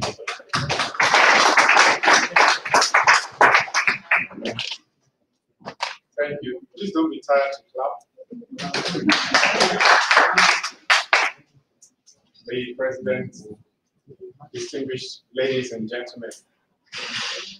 If you look at uh, page six of your program, pages six and seven, you will see a brief about NIPR. And then the program also says that Samuel Tobi Oseloka would be presenting about NIPR. My name is not Samuel Toby Oseloka. My name is Karibi George. So please uh, make that correction first, so that tomorrow you won't see me on the road and stretch out your hands and say, ah, Samuel Oseloka, how are you? I'm Karibi George. Now, this program, But sorry, yes, Karibi George was the NIPR chairman in Rivers State immediately before Samuel George was senator. Am I right? Yes, you're correct. and, and, and he also succeeded me in council. Oh, and it's okay. Yes, yes, yes, he's running after me.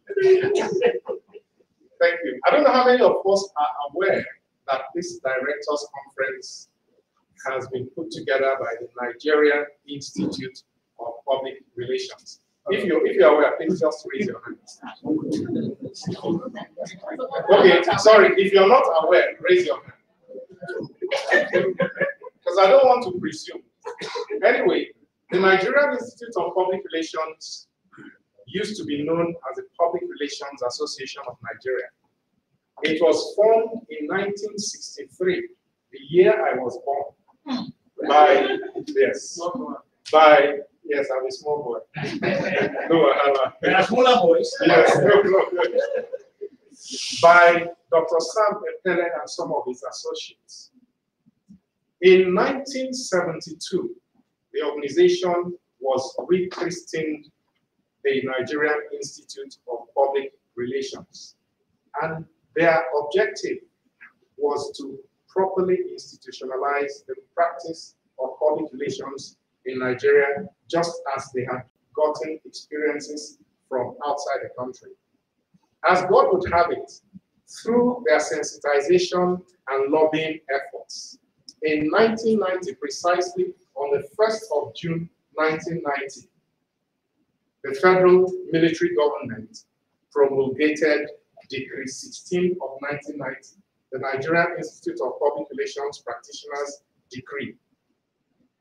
Ladies and gentlemen, when Nigeria moved from military to civilian regime in 1999, some of the laws enacted by the, or decrees made by the military regime were repealed, while some were retained and put into the corpus of new, of, of, of uh, laws of the Federal Republic of Nigeria. The NIPR decree was one of those retained.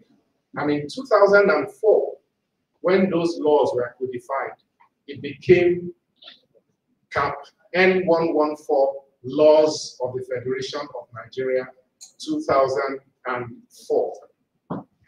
Section 1 of CAP N114 Laws of the Federation of Nigeria establishes the Nigerian Institute of Public Relations and empowers it to determine the standards of knowledge to be acquired by persons seeking to be public relations practitioners.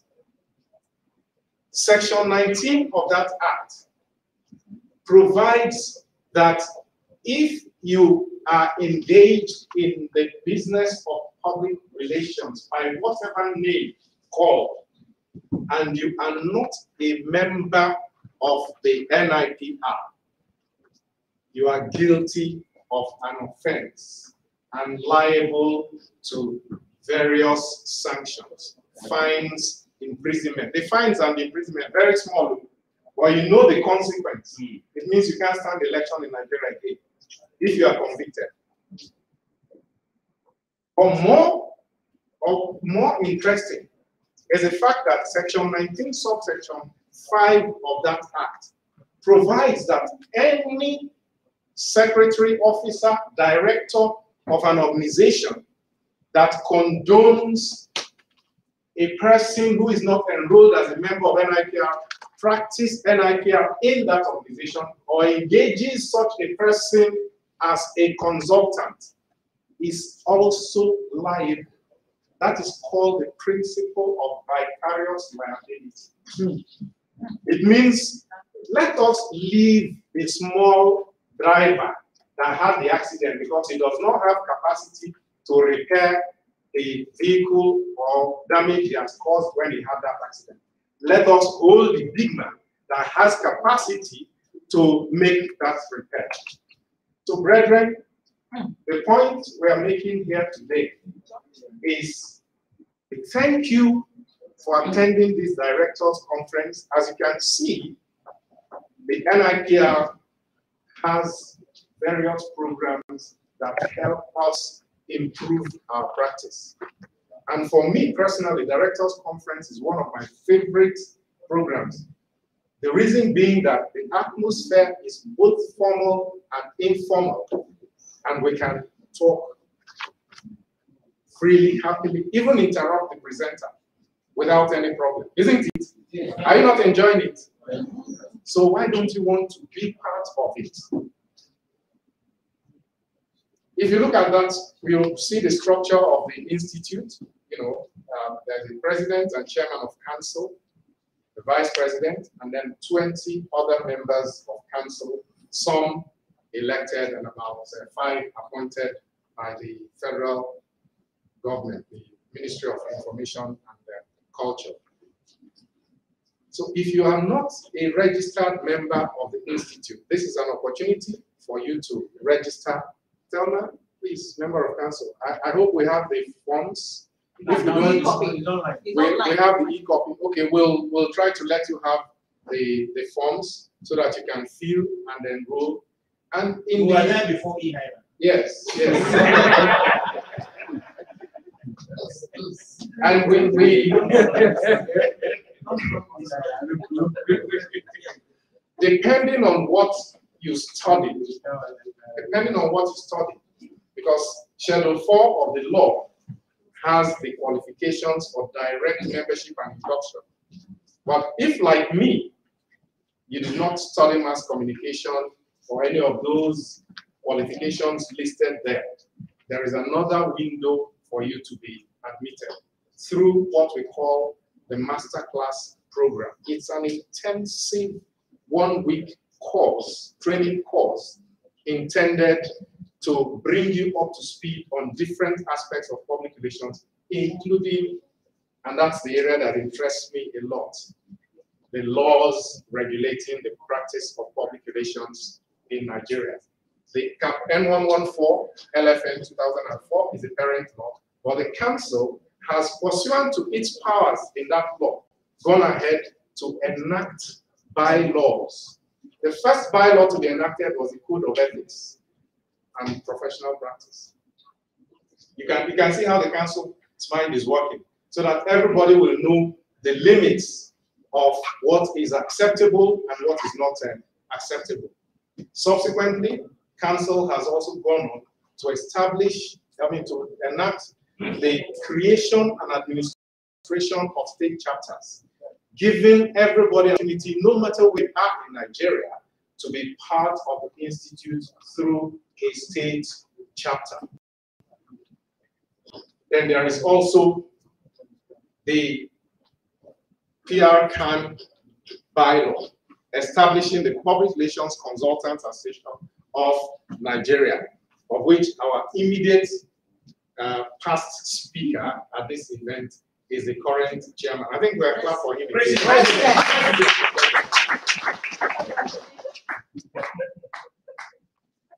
You know, when you say president and chairman of council, sometimes your tongue will twist and you'll be saying chairman when you mean president. President, please. The secretary is here too. Abi? No. Okay. Okay, all right. So, uh, distinguished ladies and gentlemen, please let's take it seriously. The Institute also has mandatory continuing professional development courses that enable you to improve your skills in specific areas and grow in the ladder. During lunch, one of us remarked that he's been an associate member since 2008 or thereabouts. And I, I, I felt sorry for him because as, as I informed him that time, it's a self-inflicted injury. I was admitted as a graduate member in 1994 and advised, and I took the advice, I wrote the Institute's professional diploma exam. And I have risen through the ranks. By the grace of God, I am now a fellow, fellow since 2012. So if I can do it, you can do it. Don't tell them you are my CEO.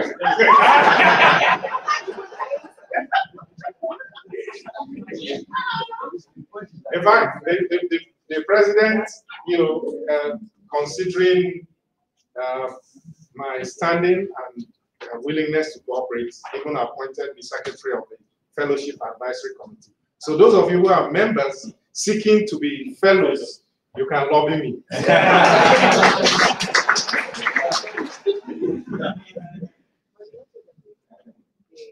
Are there any questions? Any questions? Okay, the categories of membership. Uh, we have student members, we have graduate members, we have members, associate, sorry, associate members, then members, and then fellows. fellows. Um, now, there, even if you are a fellow in, say, Public Relations Society of America or Chartered Institute of Public Relations UK, and you do not enroll as a member of NIPR, Section 19, and all its various subsections can still catch you. Yes. In Nigeria. Yes, in Nigeria. The, the, the only good thing is we have some reciprocal relations uh, with some of these sister organizations. And so it is possible for you to use your membership there to enhance, are you with me? To enhance and speed up your enrollment here in the NIPR. So that's what we should do. Any questions? Yes, sir. No, not a question, just to add um, the fact that the NIPR is also a member of the Global Alliance for Communication. And in fact, our immediate national president was a member of council. He's a member of council. He's still, oh, sorry, I didn't know he's still running. Yes. So uh, why am I saying that? I've had, sorry, I'm not taking your position. No, no, no, no, I'm no, just, uh, You're just adding to it. This Yeah. is a team now. So the man is learning how to sensitize the. I've, I've, I've had um, to convince a lot of people regarding why it is important, let me start, to always make sure that we have the part of the law when it comes to regulations. Um, I'm an advocate of um, legality. So no matter how we look at it, if you are not registered, even if you are director of public relations, technically you are not, you are not a professional. Am I correct? So, but I have a president here, so I can talk. So I tell people that when you say I have UK, I have CIP, sorry I'm mentioning those institutions. They are the same. In UK, you can't practice as a publication professional if you are not a member of CIPR. Am I correct, sir? So why should I not do that also for Nigeria? Because I remember when some of my colleagues were to come and we want to employ and they told us we have a CIM marketing. Good. But the law is there. that you still have to do this year. So I'm saying it because I've had few conversations today to, to encourage us, for those of us that are already in very high position, to encourage our um, colleagues to sign up and be active. It's another thing to sign up, it's another thing to be active. The institute needs to run, and then which means we have to pay our dues, we call we communicate, we do our MCPs, all these things, are what the institute uh, does to ensure that uh, we keep things running. Um, so I give it back to my boss. This is just my contribution. Thanks. Wonderful contribution. Yes, um, in 2015, in order to bring our database up to speed, the council instituted the recertification program. If you registered as a member or associate member of the institute before then, but did not do recertification, please see it as one of the things to be done to regularize your membership of the institute. Please do so. And, and rise, cooperate, um, participate. You know, who could have thought that small boy like me could be a state chapter chairman? And I've even handed over many years ago. You can imagine. Member of council, member of council. And now, chairman, chapter relations committee, and secretary, your fellowship advisory committee. My member is here. Chapter relations. Uh, Fela Lee is also here, chapter relations. Thelma. Thelma is also here, chapter relations. So please, it's it's it's good to grow, it's good to flow. I incidentally have an admin person primarily right now. But I was listening to all the presenters talking about not being insular, but to um, get all the information, knowledge you can from other areas in order to be able to get to the level of CEO, right? Those are the things they told us. And I know relations has made me change change the face of administration in my organization. I'm a dangerous person. They know me as dangerous because if you if you discuss anything with my chairman and then I go afterwards and you have not discussed with me to give me perspective, the danger is it will all be reversed. So I'm the one to be lobbied. Thank you very much. Uh, I just want to suggest that um, last year when we gathered here, some organizations came, came like in their numbers. And that's what I, would- think we should uh, encourage. Even the, even the, so, yeah, so I want to feel that when I came here and I saw that there are so many colleagues from the central bank, I was very happy. Some organizations don't, don't really understand it, why they should send two, three people, four people to the report. I went to my management and I made a strong case that I can't be attending this in alone every year. That some of my colleagues need to come on board. I think that's take forward and encourage as many of our professional colleagues as possible to enlist as a member because we are making reference to UK, American. This is our country. We don't have any. No matter if you like, be whatever you are here. If you are not their own, you will not participate in what they. That's the way they are structured their country. So it's left to us to decide that we need to build a viral and you know, institute uh, that will be respected you know, corporation wide and country wide. That, that is our decision there. Thank you very much. Finally, before I leave, let me ambush my president and the education advisory board.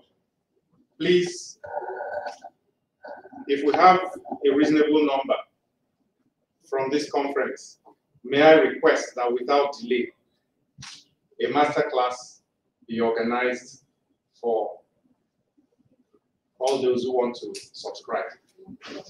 President, you under- you under- you understand what I'm saying?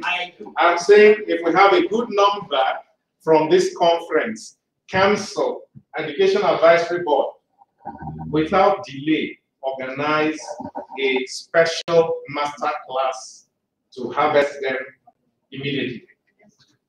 Is my prayer answered? It's not an ambiguous prayer. It is. My prayer has been answered. You can clap for the president. Thank you. Let me return the mic to the MC team. Please, let's give him a round of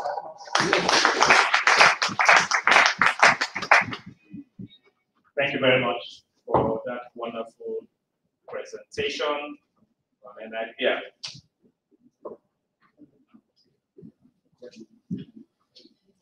Okay. Okay, the president wants to say something.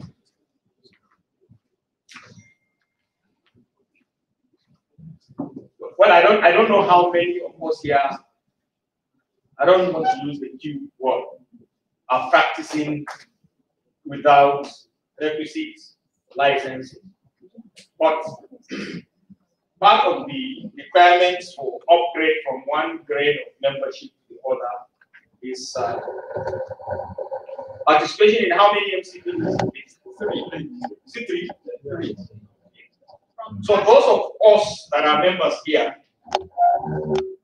we we had a virtual council meeting without you knowing, and the council agreed that those of us that are members should consider participation in this directors conference as one MCP.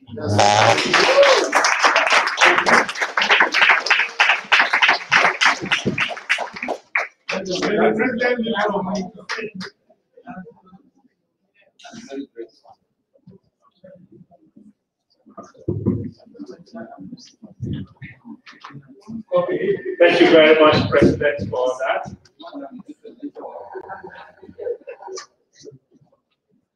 Okay, the chairman of the directors conference actually wants to appreciate the president for further elevating this conference. Yes, I want to thank you, Mr. President. It has always been my desire that apart from what we gain, you know, from the team, that you should also add, you know, a kind of reward. And I'm happy. And I want to also, give- I'll tell my chairman, of course, we are chairman of council, I'll inform the chairman of the Educational Advisory Board, which I'm also a member, that going forward, one of the rewards for attending directors conference is that it will be taken as one master class. Yes. No, One President, MC, President- one MC, I mean, sorry, one MCP. Yeah. Should we be adding that? Great, right. No, it No, it is, is, it is for this one. it's for this one, but I'm saying going forward. going Going forward, yes. Yeah. Thank you very much. So Chidinma, Yes, ma'am. please make sure you also give them an official letter that states that they have attended one. And prepare, and prepare certificates. Yeah, so prepare that certificate for them. So thank you very much, sir. For, for members, for those For that are members, members. for those that are members and those that are certified. Yeah. You you have to, so everyone is going to be a member. And then uh, I also happen to be a member of uh, fellowship uh, advisory board. So if you think you're due for fellowship and you want to know the process, I'm available to give you free counsel. To be loved. Oh. No, don't want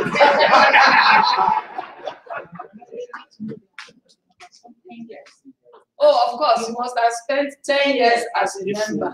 As a full member. Full member before you can be a fellow. Yes. And you are supposed to write a thesis. And. Well, that's why I said come to. we, we, we, we close now. Can I have two volunteers to just share briefly their experience from today's uh, event? Just two. Okay. Okay, one, one male, one female. So while the male is up, the female should get it all at one just to make it happy, I did a wonderful experience today. We started then with the presentation by YPO, and the, there are a lot of takeaways from his uh, presentation. Affirmative PR, know a little about the lot, tell your own story. I can go on and on. Before we came to Jai's uh, presentation, he talked about conflict management. Don't allow the conflict to get into a crisis. And I think there's one important phrase he used your trust quotient with your stakeholders, the various stakeholders that you are relating with.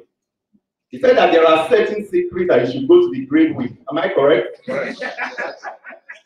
As a PR person. And he mentioned some of the things that YP also talked about, and NAP also added to it that we are counselors.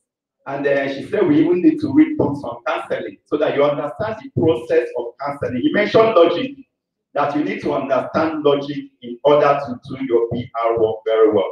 I think I can go on and on, but I think it's been a very rewarding and enriching experience. I want to say thank you very much to all the presenters Thank you. Anything more to add from anybody? I think I summarized it all. So that brings us to a wonderful conclusion of day one. But let me just announce that tomorrow we will have a tour of the resort in the afternoon after the presentations. We have a t-shirts for all registered participants, so endeavor to pick your t-shirt and we advise that you put it on tomorrow. You can wear your jacket on top of it if you like, but so that when we go on that tour, we go in a uniform manner. Is that okay? All right. Uh, thank you very much. And I think the chairman of the planning committee also said we can have a, a brief networking at the lobby bar as we step down. So thank you very much for.